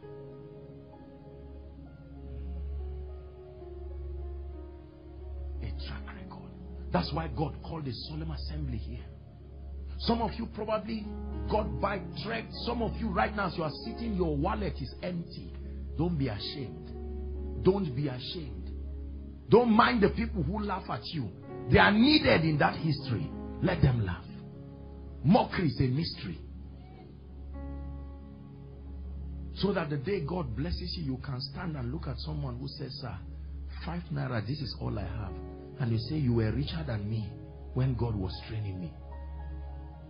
I say, You, this multi-millionaire. So there was a time you didn't have anything. And he said, Look, let me lift the cloth I'm wearing. See the scar. There is a scar. Let's not be ashamed of our scars. If we are ashamed of our scars, we are not going to help a generation because we will create a portrait that is not accurate. Many of you are surprised now as I tell you some of these things. Because in your mind, you see what God is doing in and through Apostle Joshua Selman. And you just believe this guy was uniquely fortunate. My God. When you look at me in the realm of the spirit, what you will see is blood dripping. Sacrifice. Sacrifice. Hallelujah. But hear me. When your heart becomes committed and drawn to God, then my brothers and my sisters, let me tell you this. The investment of the Spirit that will come upon your life as a reward for that sacrifice, nothing in this life, nothing in time can pay for it. You see, there are things when you have in this life you are afraid because it doesn't last. But when God gives you his presence, when God opens you up to his glory, when God opens your spirit to the realities of this kingdom, out of your sacrifice comes sir, one day. Prayer and fasting like this is a moment where through all of these experiences, you get to a point where your flesh, are we together now? That flesh dies the object of your fasting is Him. Here He comes before you. And He says, Son, this is the final bus stop. All that you went through was to see me. Your mother did not see me. Your father did not see me. Finally, through all the hunger, listen to me, through all the disappointment, through all the delays, you have finally come to that place. This is the place of encounter. That's what God is doing. Household of David, hear me. I'm activating something. This is the place of surrender. That's where He's leading you through your 30 days of prayer and fasting. This is the place where my flesh gives way do to me what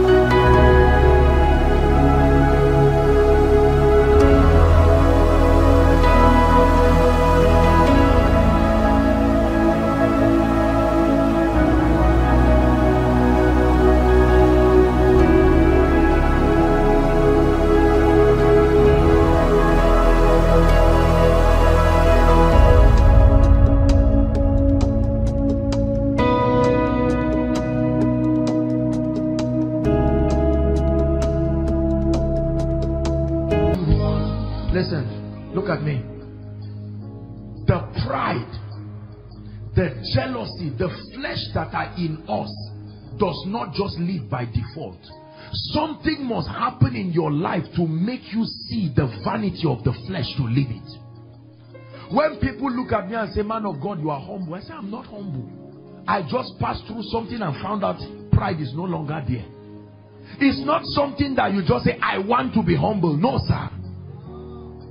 When your ego is strong and strong again until there is nothing there, the name of that state is humility. Are we together? Yes. It is not natural to not laugh and jeer at others. It is, it is, it is, um, it is, uh, I mean, it is, it's natural, I meant to say. It's natural to hate. It's natural to fight people. It's natural for jealousy. All these attributes of the flesh. So you pack them and say, Lord, anoint me. He said, No, I don't anoint people like that. It is fire first before the glory. It is fire first before the glory. Please, Mike, take it higher for me. It is fire first before the glory. The, the, listen, listen, listen. When there is a sacrifice, then there is a fire. Then the glory fills the temple. That's the pattern. The sacrifice first, then the fire. That fire face of a believer's life, you can't pray it away. You can't fast it away. You, these are the kinds of cups that you can't say, let it go off me. Uh-uh. You only take the grace to take it. Master, can we, can you grant that in this kingdom we sit at your left and right? He said, can you drink of my cup and be baptized with my baptism? Lord, I want to have a mighty ministry and see the power of God heal the sick. I want revelation and utterance. He says, Can you pay the price? It's not a gift. This is the place of encounter. what you want. Not the cymbal, please. Mike, please to them, please. I need them to work. No, no, no, not just clashing the cymbal. Let them understand what to do, please. Listen, brothers and sisters. I'm seeing the power of God touch some people here, just like Please help them. I saw the angels of the Lord just moving there. We're going to pray shortly. You see, there is a track record that you must have in the spirit. There are many of us here, proud young men and women. I love you. What you are receiving tonight is discipleship. I love you. That's why you hear me talking. I, I don't resent the body.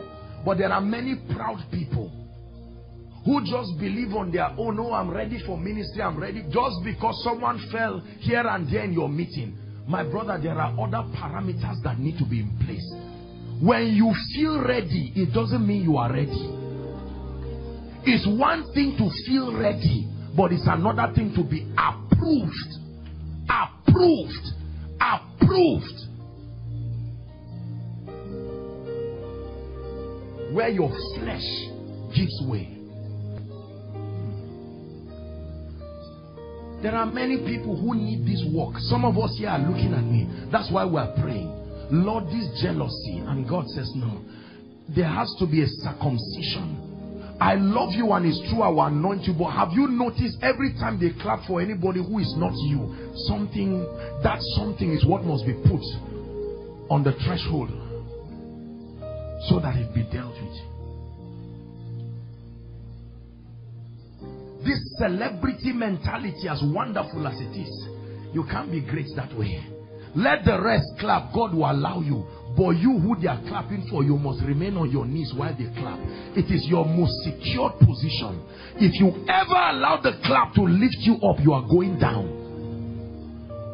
That is something you are trained in the secret place. He shows you.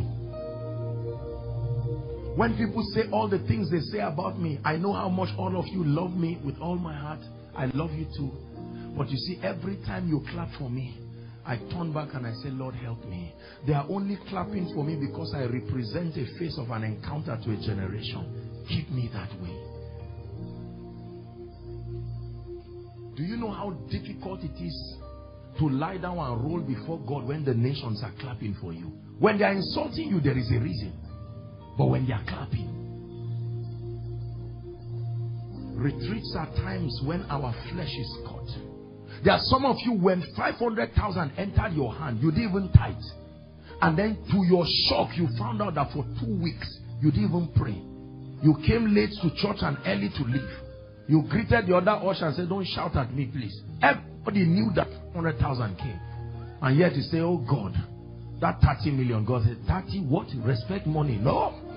I gave you 500,000. You misbehave as if you are not a child of God. There needs to be a circumcision so that you can sit down. And when people know your true word, they say, half of this was not told me. And you are this humble. Tonight, this is what we are going to do. There is a circumcision. Listen, listen, listen. It is always a sacrifice. Then the fire. Then the glory. Say it after me. The sacrifice. Then the fire. Then the glory. One more time. The sacrifice. Then the fire. Then the glory. It has nothing to do with ministry.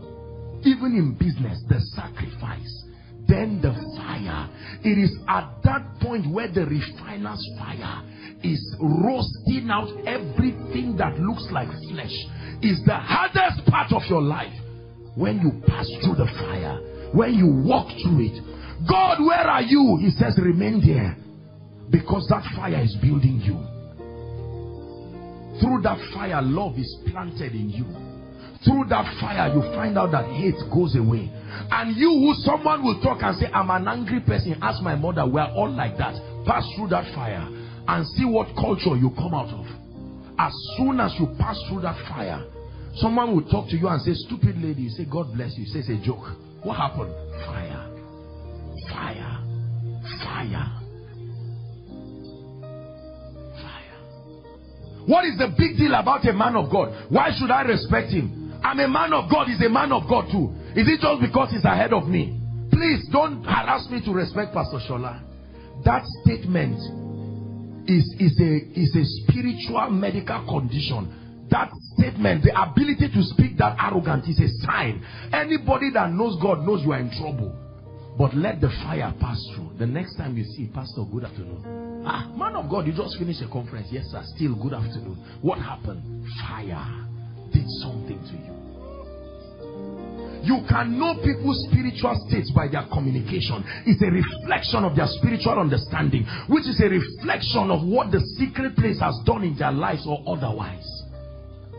Tonight, household of David, we are at the threshing floor of Naboth.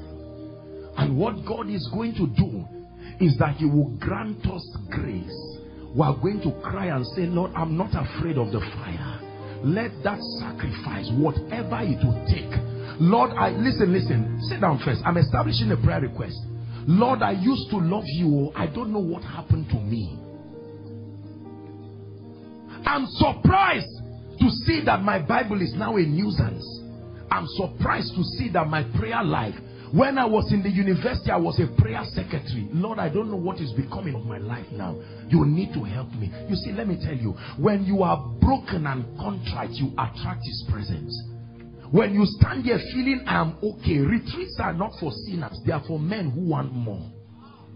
There are times that you say, Lord, I thank you, but I'm easily discouraged. The spirit of faith is not yet at work in me. Lord, grace.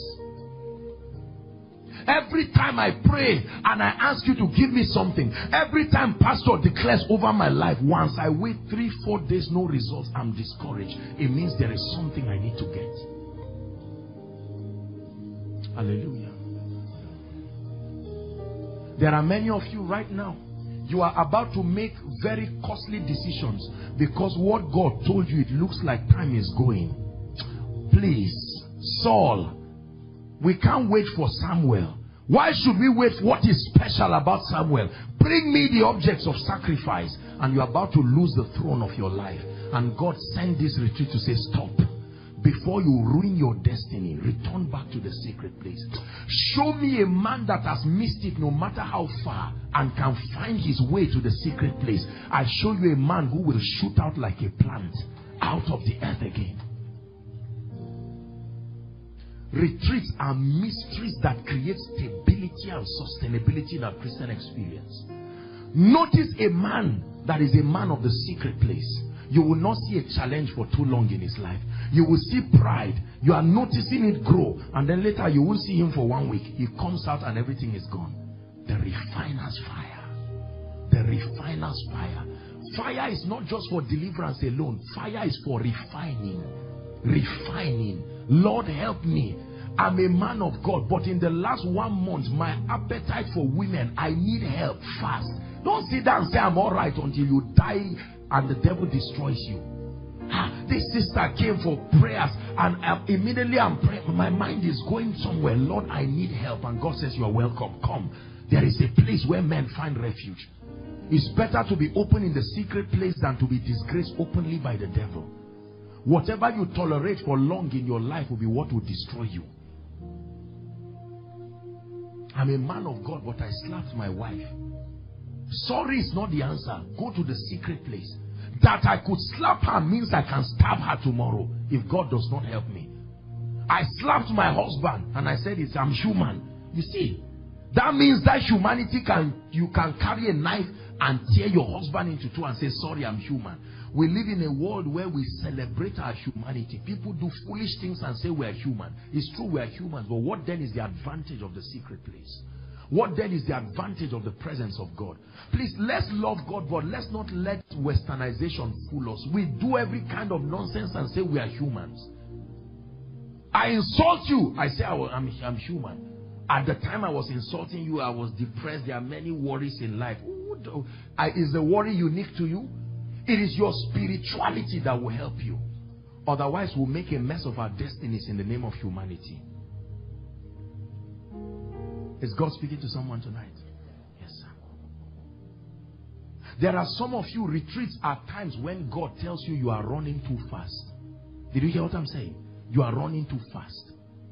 There can be a man of God. You want this conference today. Tomorrow you want this. You want to build 10 branches. Then at the same time you want to start TV ministry. Then at the same time and during the retreat, God will say, out of the 10 points, only two are my will now.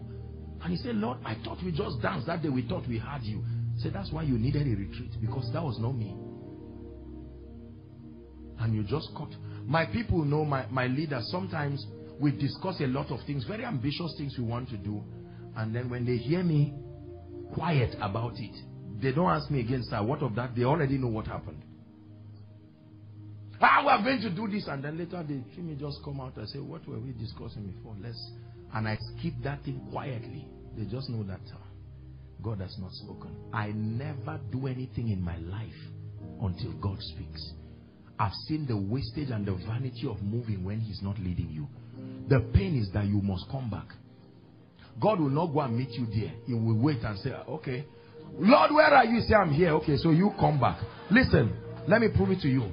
The first time God cut the rock for Moses. The second time he said, Moses, cut the rock and come and meet me where you met me there. Cut it by yourself with your hands. That memory will not allow you to crash it out of anger again. I did it free for you and you carried it and smashed it before you and then turned it into powder but now you use your hand and cut it.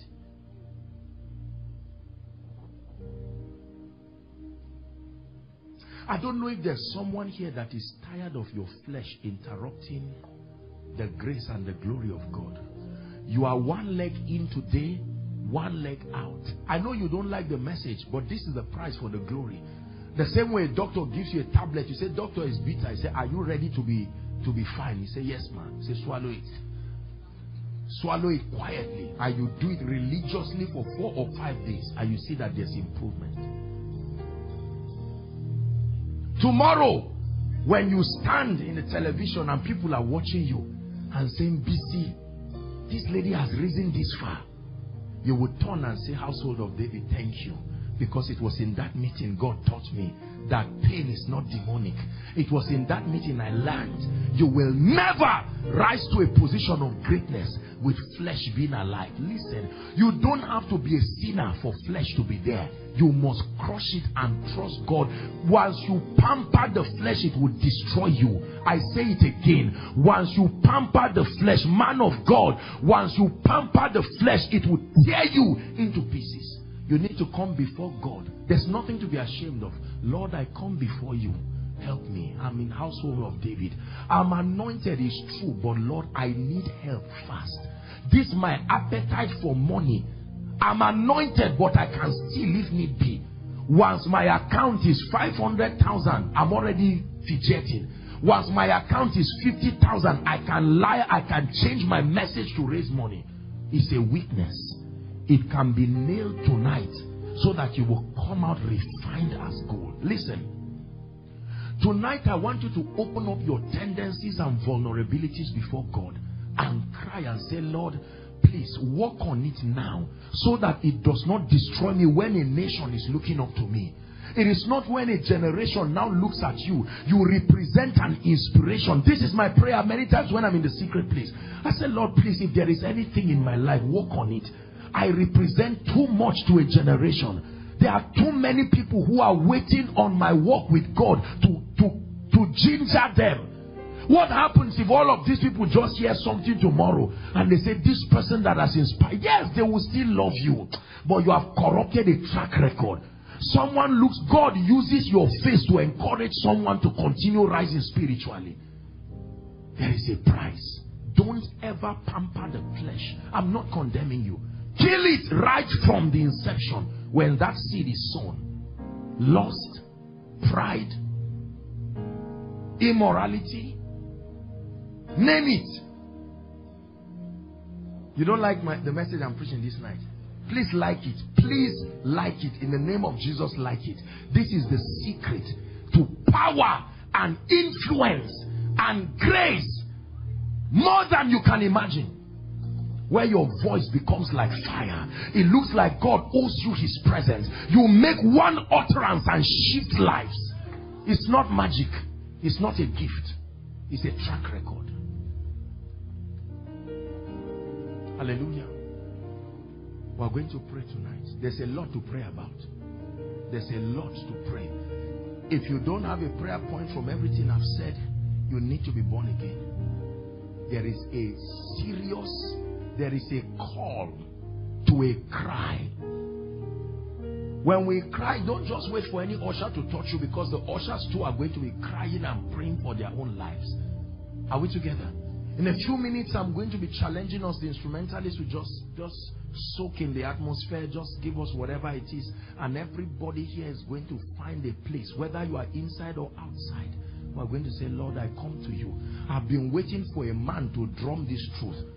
I've known in my spirit that there is something wrong, but thank God I've been waiting for a moment where someone will nail it on point. Thank you, Lord, for anointing Pastor Shola to organize this meeting. It's called a total experience. We have other dimensions we are going to talk about, but this is the foundation. Listen. Listen to me. Listen. My brothers and my sisters, I want you to hear me. I speak to you this way because I love you. There is no other way to be great in the kingdom. There is no shortcut. Are we together? In the next 10 minutes, praise the Lord. I know that those outside, there may not be a point of convenience. Even if you have to stand, you have to find a corner somewhere. Those inside here, you are just going to find a convenient corner while the worship team, I mean the, the instrumentalists just, just flow. You are going to cry before God. Please lay your golden crown. I'm a man of God. Congratulations. But we're going to cry. I will join you, all of us together. We're going to cry before God and say, Lord, I can't lie again. I you have to win this war tonight. You have to win this war tonight. Go ahead, find somewhere. Pray.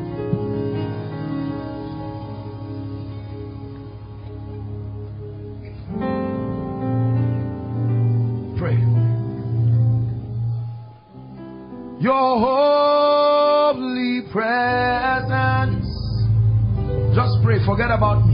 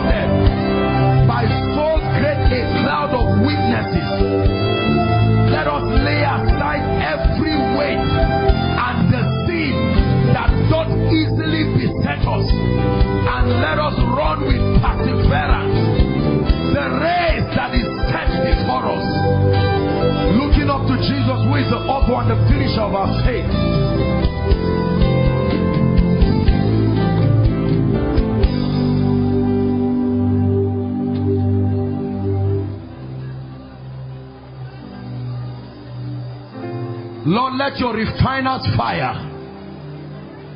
Prune this habit in my life, oh God. I've been crying for 30 days. I cry, I cry,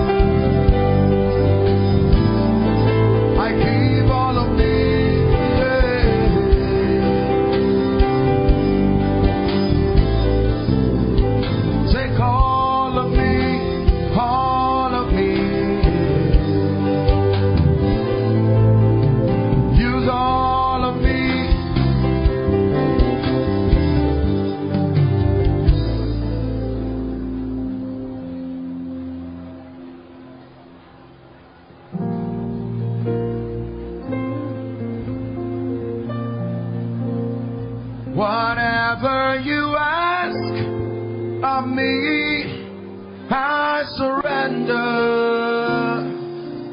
It's not a special number. Let it be a declaration from your heart. Whatever you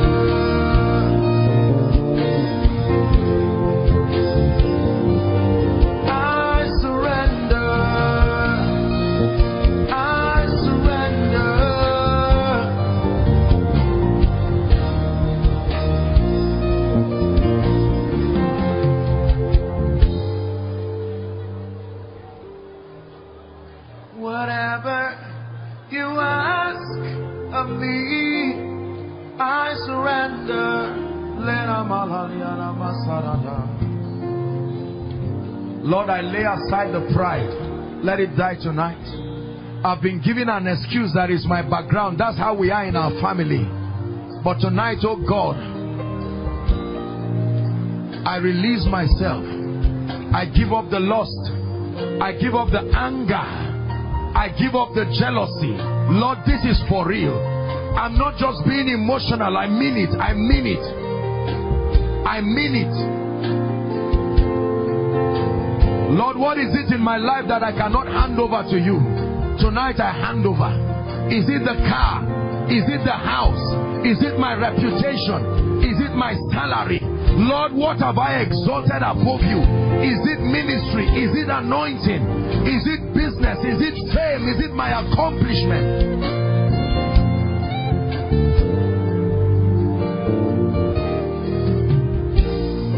Mm-hmm. We're rounding up.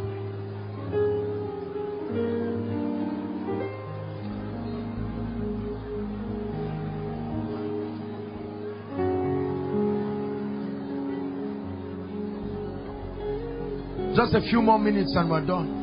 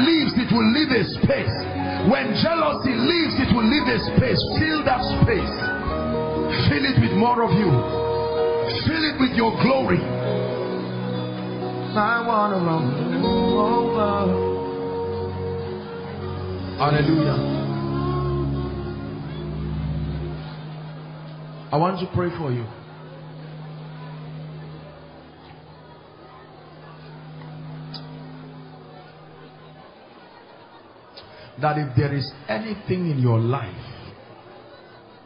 that is corrupting your Christian testimony, I stand for the God of heaven and I pray for you this night. I separate you from it forever.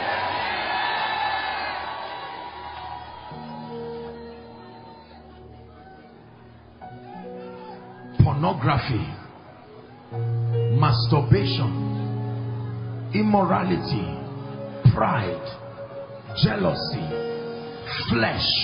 In the name of Jesus, I separate you from it. I separate you from it. I separate you from it. Listen, if there is any appetite that is captured in your experience and is not of the Christ. You may have been tolerating it. You may not like it, but you have found out you are a slave to it. I stand before the God of heaven and in the name that is above all names, let the fire from heaven that separates, separate you right now.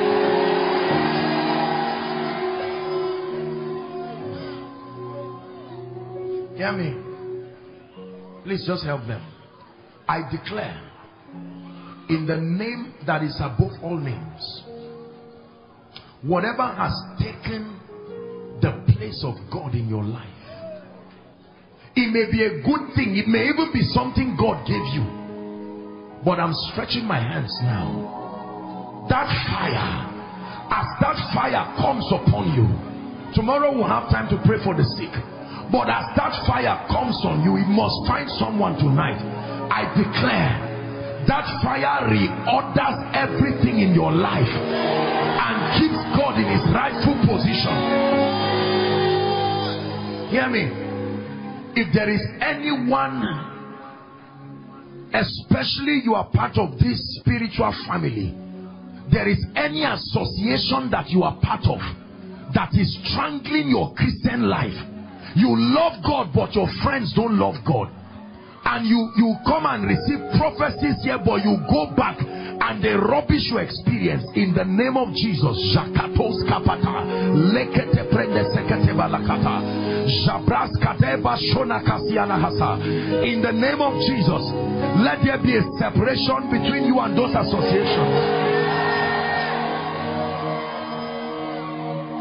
hallelujah listen there are many of you, the grace to pray has gone. You are not bad. The grace just dried up. You cannot consciously, you don't love God enough to go for a retreat on your own. Church retreat, yes. Departmental retreat, yes. But, but that on your own, you say, I need God. I pray for you. Whatever must happen to you tonight, in the name of Jesus, the passion and it will infect you is like a cancer i declare may that hunger land upon your life now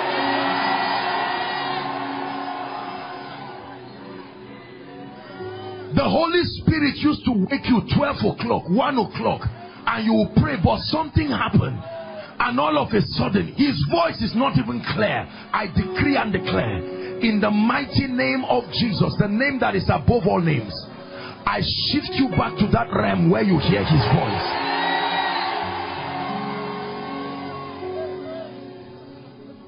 Listen, there are many of us, I'm praying because your vulnerabilities are too much. We have to pray. Some of you are unusually emotional. It's not just biological, it's demonic.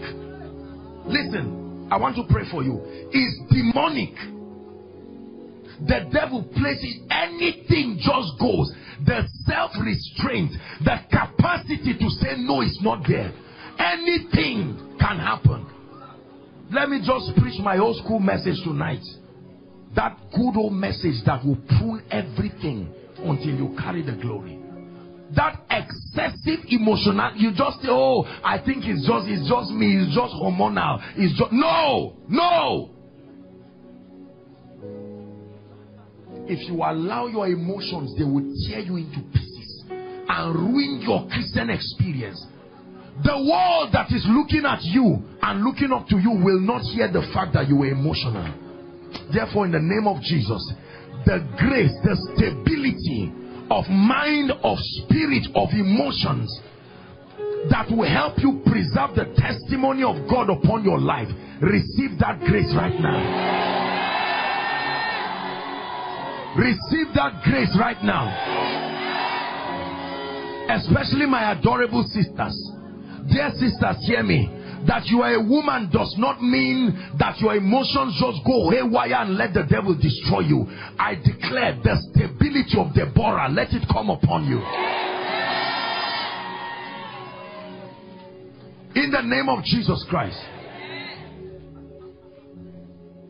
Let me give you a little assignment. We're, we're back tomorrow. I know that many, the impartation, and please don't miss tomorrow's meeting. Even if you are not a member of Household of David, um, just make that sacrifice for tomorrow. It's my last session. It will be a waste to do an impartation and to pray and do all of these things. This is what you need. The assignment I'm giving you is please take at least 15 minutes when you go back home. Any 15 minutes before morning, just take some time alone with God. Even if you are married, just pray for some 15 minutes and stay and trust God list out the things that must get out of your life and pray for that 15 minutes. Hold it as a request. Lord, this must leave. Lord, this must leave. Because the fire that is coming upon you is a fire that your generation will celebrate you for. Your wealth is in that fire. Your greatness is in that fire. Your glory is in that fire. There is a prophetic word for this church, but I will say it tomorrow. There is something God has told me about house of David, household of David. But tomorrow I will say it. I want to say it in the open and I want to say it on air. A shifting, I'm telling you, is coming to this church. It's true. It will be so strange. I, am not, I don't want to give you the details, but it will surprise you. In the name of Jesus Christ. The gentleman on white, my friend, lift your hands. I'm seeing an angel pouring something like oil on your head. That's what I'm seeing. I stretch my hands right now. In the name of Jesus. Dearly beloved, I hope you were blessed by this message. Do not keep the video to yourself. Share to as many as you can to help them bless. Check our homepage for more of our messages. Subscribe to the channel comment on it, like it. See you on our next video. Bye. Pray.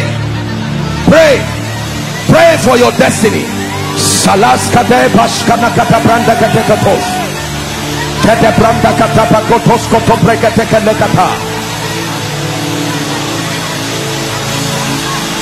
The phase of development.